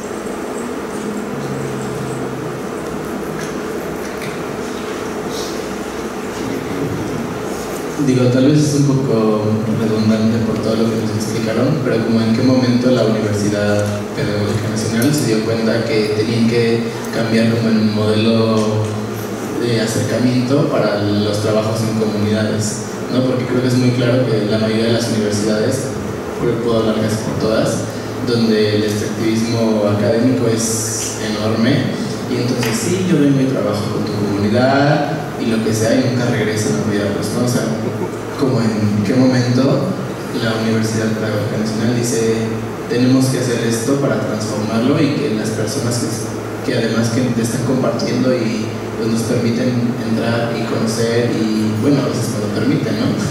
Este, como ¿En qué momento dicen tenemos que hacer algo para que esto no siga replicándose? Hace usted una pregunta muy interesante porque este no es un proceso de la Universidad Nacional, sino es un proceso que arranca de la inquietud de algunos de los académicos de la ley y que además va eh, a contraflujo de la mayoría de los académicos de la ley que tienen una visión folclorizante. Pues hay que pasar las fiestas, los trajes folclóricos, lo bonito, la comida. Y la maestra Maro les decía, tiene 14 años y otros hemos estado insistiendo en la necesidad de darle otro enfoque diferente. Y también algo que se me pasó a decir, y aquí no quisiera sonar de una manera mm, no sé, como de lástima, pero sí que esto se hace básicamente sin recursos. Los trabajos que se hacen se hacen con materiales gratuitos que puedes bajar con la versión gratuita de los materiales, por ejemplo, stop motion, la versión gratuita, etc. ¿no? Sí, no hay recursos. Eh, por ejemplo, la visita que acabamos de hacer a Santa María de Poniama es de nuestro julio, en un sábado, con nuestro tiempo, y es porque uno y, y algunos creemos que es ser congruentes con una idea de fortalecimiento de las comunidades y vuelvo a decir, no es una, no es una idea institucional, es un, una iniciativa maestra, su servidor, y que va, digo, con el flujo de la mayoría de los compañeros, que a decir, tiene una visión romantizadora y folclorizante. Sí, yo para anexar, este, por ejemplo, en, la ley, la licenciatura de educación indígena tiene cinco este, líneas de formación y tres campos los estudiantes eligen a qué campo irse. Está el de bilingüismo, escuela y educación comunitaria. Y yo quiero decirles que a nosotros, educación comunitaria, no nos quieren, porque todavía tienen esta idea de que si no son procesos en el aula, no hay pedagogía, no hay enseñanza y aprendizaje. Entonces, ¿contra qué estamos luchando y por qué estamos publicando tanto sobre educación comunitaria y haciendo estos proyectos? Pues porque sí hay procesos pedagógicos, desde el primer espacio de socialización que es nuestra familia. ¿De quién aprendimos? Pues de nuestros papás, nuestros hermanos, la gente con la que estamos en comunicación. Y lo dice Giddens, ¿no? Clarísimamente. Eh, entonces, nos ha pasado que de pronto tienes lectores para tu trabajo recepcional y estás desarrollando todos los procesos pedagógicos a nivel comunitario y no falta el lector que les diga, ¿y dónde está la escuela? Para que sea educación. Entonces estamos peleando con eso. Entonces es un cierto este sector de la universidad los que estamos trabajando fuerte en eso y aunque la rectora nos apoya y las autoridades nos apoyan, sí se adornan cuando de pronto voltean a ver el proyecto, ¿no? Como pasa en la mayoría de las, pero hagan de cuenta que yo y lo dije. ¿Algún otro comentario? Sería muy enriquecedor para que nos sean señalamientos, comentarios, cuestionamientos, se vale. Ya sé que ya son las dos y que ya todo el mundo se quiere ir a comer y que también quieren escuchar el radio. Pero bueno, se, queda, se queda el diálogo abierto. yo creo que desde los proyectos que están haciendo, a lo mejor también les, surgen dudas y no se atreven a decirlas. Eh, con esta experiencia que comentaba ¿no? de el diálogo de saberes, cómo se da ya en la vida cotidiana. Creo que cuando hemos tratado de bajarlo nosotros de las lecturas a la realidad, se han gustado bastante inquietudes. Damos la palabra a una última participación y regresamos con Carlos. Este, recuerdo que en algún momento estábamos platicando sobre cómo la, la lengua que hablas creo que es diferente a la que puede haber en otras regiones. En Oaxaca, eh, personalmente conozco un grupo que también hace rap, pero es rap Mije, se llama Mije Represented, no sé si los, los conoces. Eh, por ejemplo, ¿cómo es para que siento que tu proyecto está, está muy cool, está muy bonito, las partes en español son completamente entendibles para, pues para, todos nosotros. ¿Qué, tan, ¿Qué tanto tu proyecto abarca lo que es tu comunidad? ¿Qué tanto deseas tú, creo que tal vez en una intención personal, qué tanto deseas que, que salga de tu comunidad y cómo, por ejemplo, abordan, eh, no, no, solamente tú, sino en general, este, esta cultura de música en lenguas que son muy distintas, tanto en pronunciación como bien hablaban, y cuáles son los, los retos, por ejemplo, que has tenido que enfrentar con, con hacerlo, eh, con hacer las canciones. Eh, sí, eh, bueno, se contabilizan aproximadamente a nivel nacional ahorita aproximadamente 60 exponentes en lenguas originarias. apenas el día, el día jueves el día jueves, eh, se hizo la presentación de un libro de, que es como artistas en lenguas originarias. Tuvimos la fortuna de aparecer en este libro, en el cual se integran muchas lenguas, entre ellas estuvo Mije Represent. Eh, por aquí tenemos a, a Kipper, eh, rapero mazateco, que también parte del proyecto. Entonces, creo que hay, hay muchos retos. Primeramente, eh, como todo, ¿no? el consenso de la comunidad. ¿Qué puedes decir y qué no puedes decir? Porque hay temas delicados. Yo era como les platicaba, eh, yo no les puedo, yo en muchos espacios no digo por qué salí de mi comunidad, porque existe un conflicto, fue el trabajo que hice. Yo, yo hablo sobre, ¿y yo quién soy? ¿Cómo, ¿Cómo encontré nuevamente el sentirme parte de mi comunidad estando en una ciudad? Entonces, y los conceptos que nosotros tomamos, el hecho el hecho de, hay muchos artistas que totalmente es en, lengua, yo también tengo canciones que totalmente son en lengua que estamos trabajando en, el material discográfico, pero aquí viene mucho la intención que quieres dar, el mensaje que quieres dar. Eh, nosotros tenemos prácticamente pues, abierto todo, cualquier tipo de tema, eh, pero sí cuidamos mucho porque nuestras comunidades a veces eh, son muy celosas en algunas informaciones nosotros tenemos que llevar, yo he hecho canciones y tengo que consultar con mis abuelos, con mis papás y decir, está bien lo que estoy diciendo, está mal lo que estoy diciendo, qué cambiaría de la canción. Entonces es todo ese proceso también que, que integra. Y pues los retos principales, eh, el hecho de que a veces eh, ser un proyecto autogestivo pasa en todos.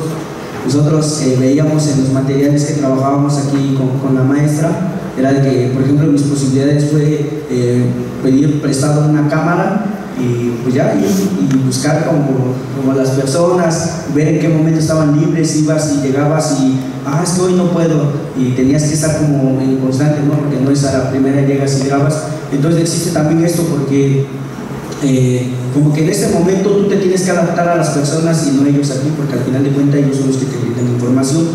Entonces eh, pasa mucho, eh, ahorita eh, tengo canciones por ejemplo que hablan sobre historias de mi comunidad, historias que se están perdiendo, pero ahora yo lo estoy contando desde una visión en un género musical, pero lo estoy interpretando en las dos, en, las dos lenguas, en este caso pues el triqui el español, porque justo pues sí quiero como que dejar como la esencia, o estas historias que prácticamente están perdiendo. Y por ejemplo, esa historia que, que, que estoy narrando una de las canciones, me lo contaron cuando estábamos haciendo un altar de Día de Muertos. Entonces ellos, entre la plática, que si es convivencia, pues que una cerveza, entonces se empiezan, empiezan así a, a, a, platicar con la comunidad y dicen, ah, y empiezan, ¿no? Ah, es que en tal pueblo se cuenta esta historia y que ya empiezan a narrar toda su historia y es ahí como que están nada más atentos, ¿no? Escuchando y ya después, eh, posteriormente yo hablé con la persona que narró la historia, que es, un tío, y le digo, disculpe, ¿puedo hacer esta canción? ¿no? Hazlo, ¿viste? Pero cuando la grabes y lo termines, tráelo porque lo escuchemos, porque qué tal y no es como lo estás cantando. Entonces, entonces creo que son, son, muchas, eh, son muchos retos que traen, pero es, una, es una travesía también muy, muy bonita porque vas a ir buscando como, como todo, conociendo nuevas cosas de la comunidad.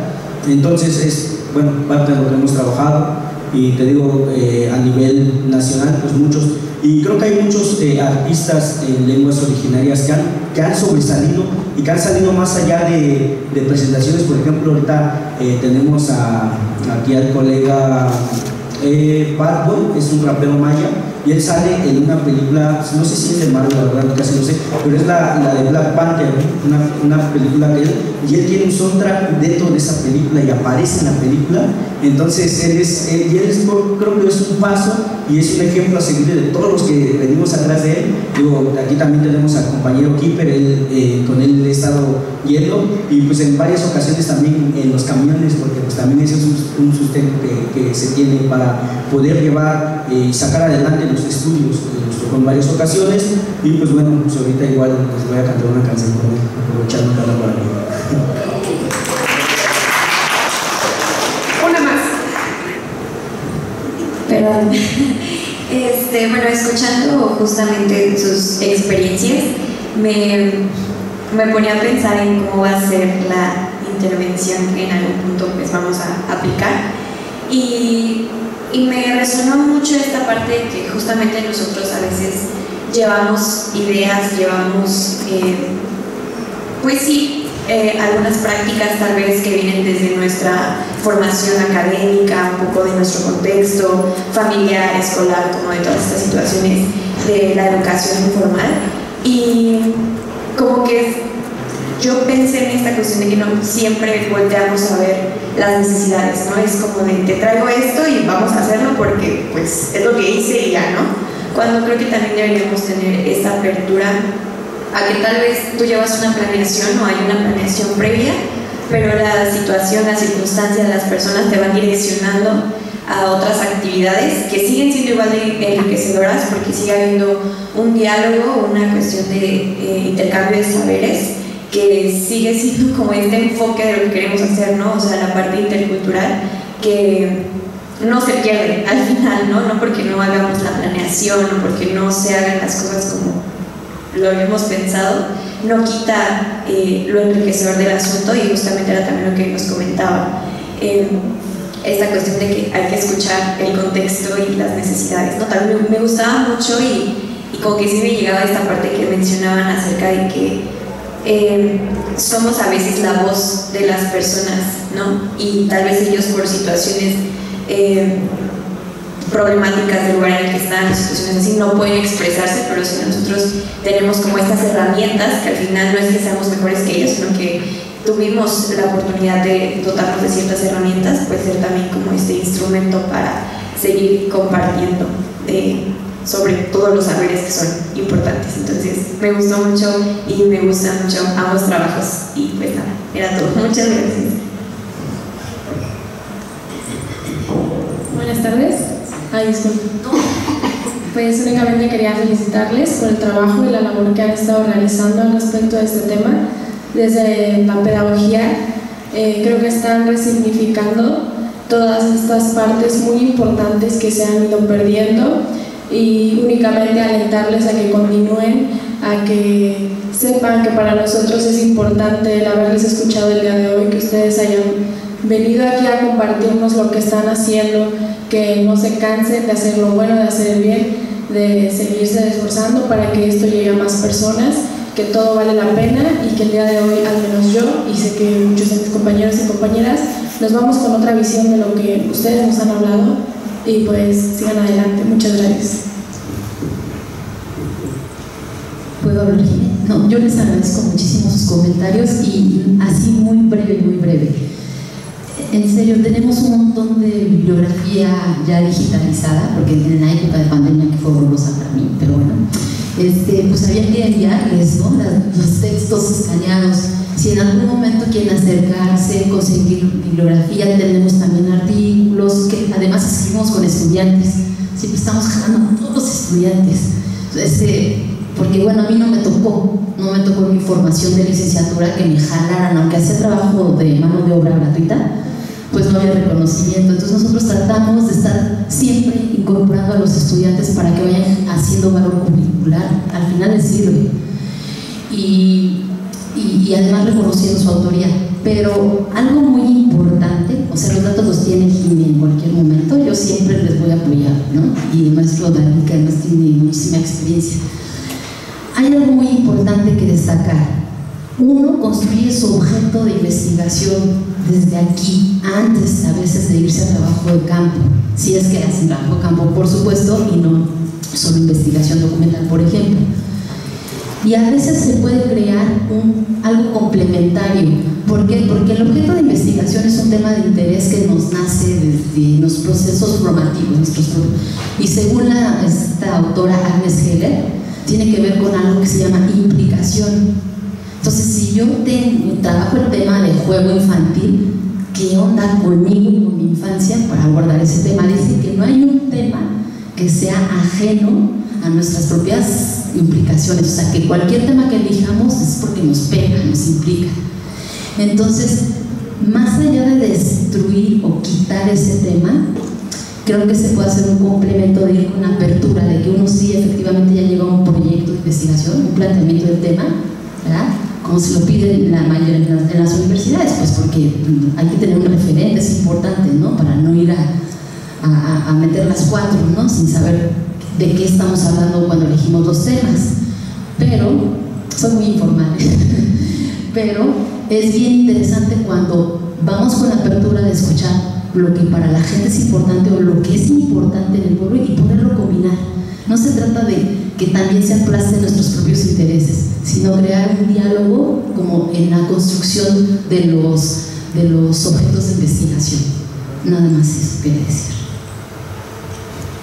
Y completando la idea, creo que es como muy importante entrar en un proceso de reflexión de quiénes somos y qué queremos y por qué queremos ir ahí. Entonces, eh, le llama esto un proceso de autoobjetivación y eso te va a permitir eh, perder ilusiones de que eres lo que no eres. Lo que sea muy bien compañero, el asunto que vas y les sigas un rollo intrascendente para ellos y regresas y ya en tu cabeza existe una gran labor, más bien es quién soy, cuáles son mis herramientas, qué quiero hacer ahí, qué puedo ofrecer y qué no puedo ofrecer. Y nos vamos a despojar de esta perspectiva mesiánica que a veces tenemos los citadinos y más los universitarios. Hay que decirlo, los universitarios tenemos muchas virtudes, pero a veces esas virtudes se pueden convertir en obstáculos para que logremos los fines que pretendidamente queremos lograr y subrayo lo de pretendidamente queremos lograr. Pues muchísimas gracias y escuchemos a Carlos.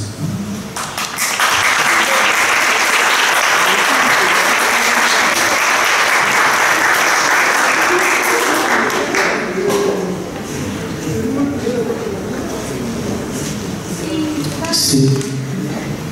Bueno, ya para despedirme, me retiro con las dos últimas piezas musicales.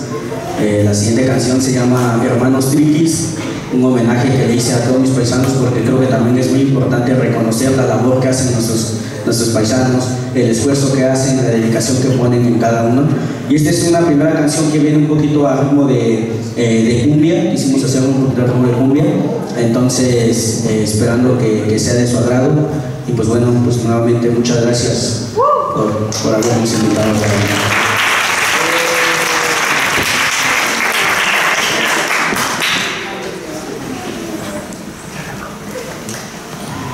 Y hay una canción eh, muy importante que, que, viene en la primera producción eh, discográfica. Eh, siempre digo que en cualquier lado siempre te dicen, ah, tú eres indígena, ¿no? pero no te lo dicen como en buena onda, sino que te dicen así en bien mala onda, así como que pues discriminándote.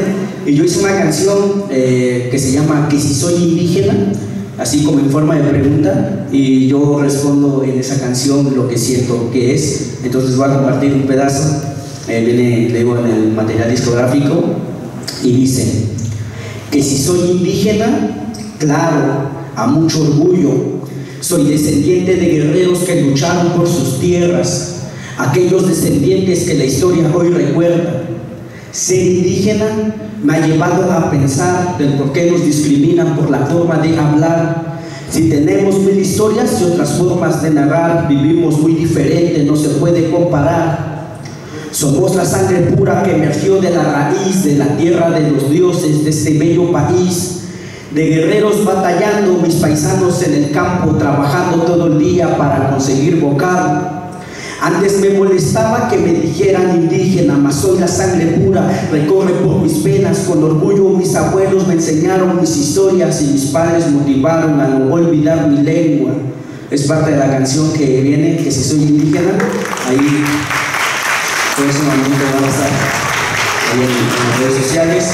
Pues bueno, eh, les digo con las siguientes dos canciones eh, me despido. Eh, una de las canciones Hermanos Triquis, o bueno, eh, una va a ser con, con Keeper, aprovechando que anda por acá. Y ahí eh, traigo otras dos canciones que no hermanos triquis, o traigo una que se llama Tierra del Sol, que también habla de la historia del lugar donde crecí. Todo. no, que tal tiene clases. No falten clases.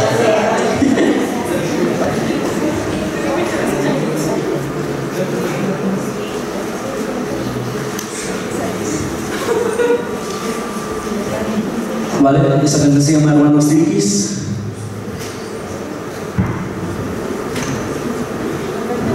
Ese video es que les digo que regresé a mi comunidad después como de 12 años a grabar esa canción.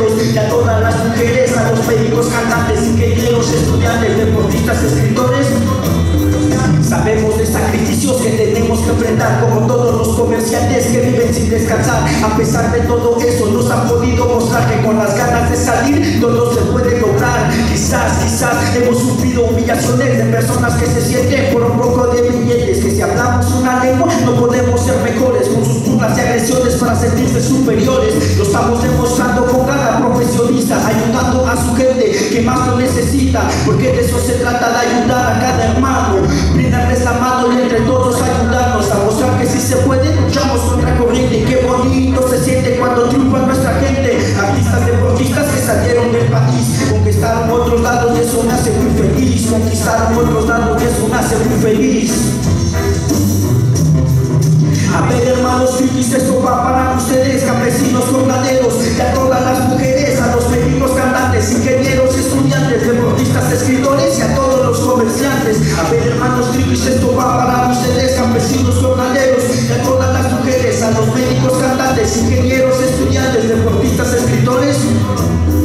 Luchamos día con como nuestros hermanos que gritan ese muro todo el día sin descansar, pues la vida es trabajar. Hay un sueño que lograr y se tienen que aferrar. También quiero saludar a mis hermanos jornaleros de Sonora y San Quintín que viven sin descansar. Hoy quiero felicitar a todos mis paisanos, los que han estudiado y en la vida han destacado, lucharon por cada sueño y jamás lo abandonaron. La alegría demostraron,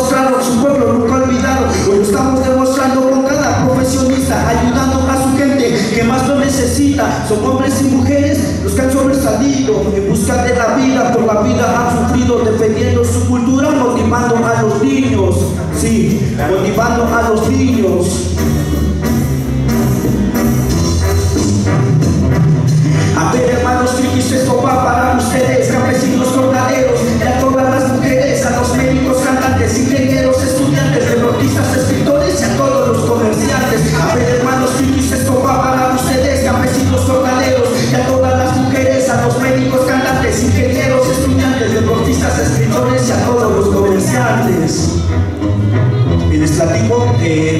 ese día, estando en la comunidad, eh, llegó una, una, madre de familia con sus dos hijos y es algo que, que, nunca se me olvidará. Y me dijo, dice mi hija que cuando crezca eh, va a ser rapera.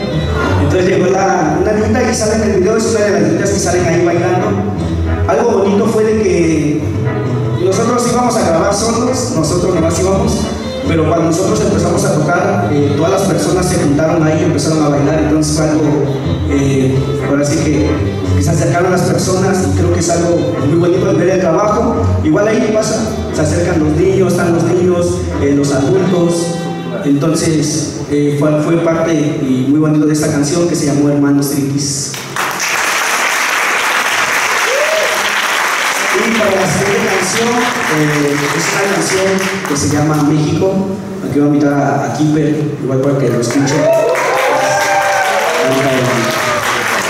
En Mazateco, ahí lo pueden escuchar. Igual en algún momento lo van a encontrar en los camiones, porque a eso se dedica aquí mi hermano.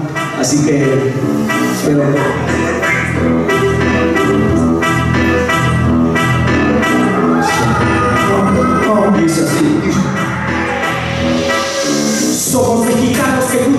País, trabajando diariamente para sobresalir. La pasión corre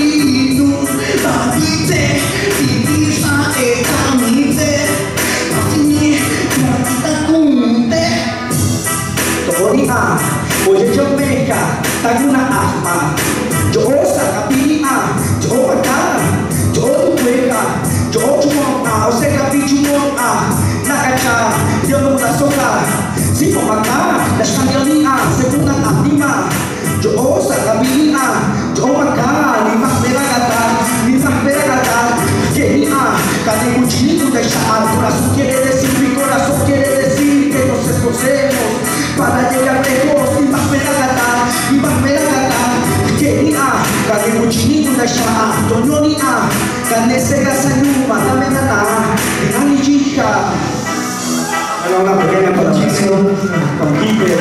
La intención es que no se, puedan, no se pierdan las lenguas originarias y gracias al espacio, mi amigo Carlos por la oportunidad de estar aquí con ustedes y de corazón. Yo los invito en las redes sociales a que busquen mi página como Keeper Mazateco y también que busquen mi comunidad indígena. Nos dedicamos a vender blusas, guayaberas, gorras y también estoy estudiando y como saco mis estudios cantando en los camiones ahí por si me ven, pues ahí estamos. Bueno,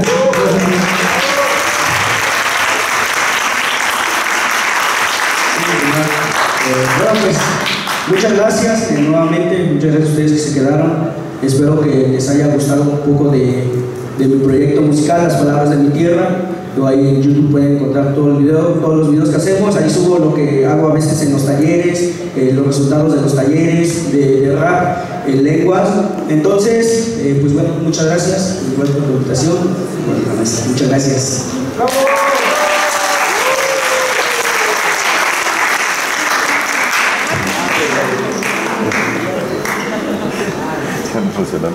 Nuevamente agradecerles, eh, gracias a, estudiantes por estar acá, por acompañarnos, por escuchar, por participar, por llevarse muchas reflexiones.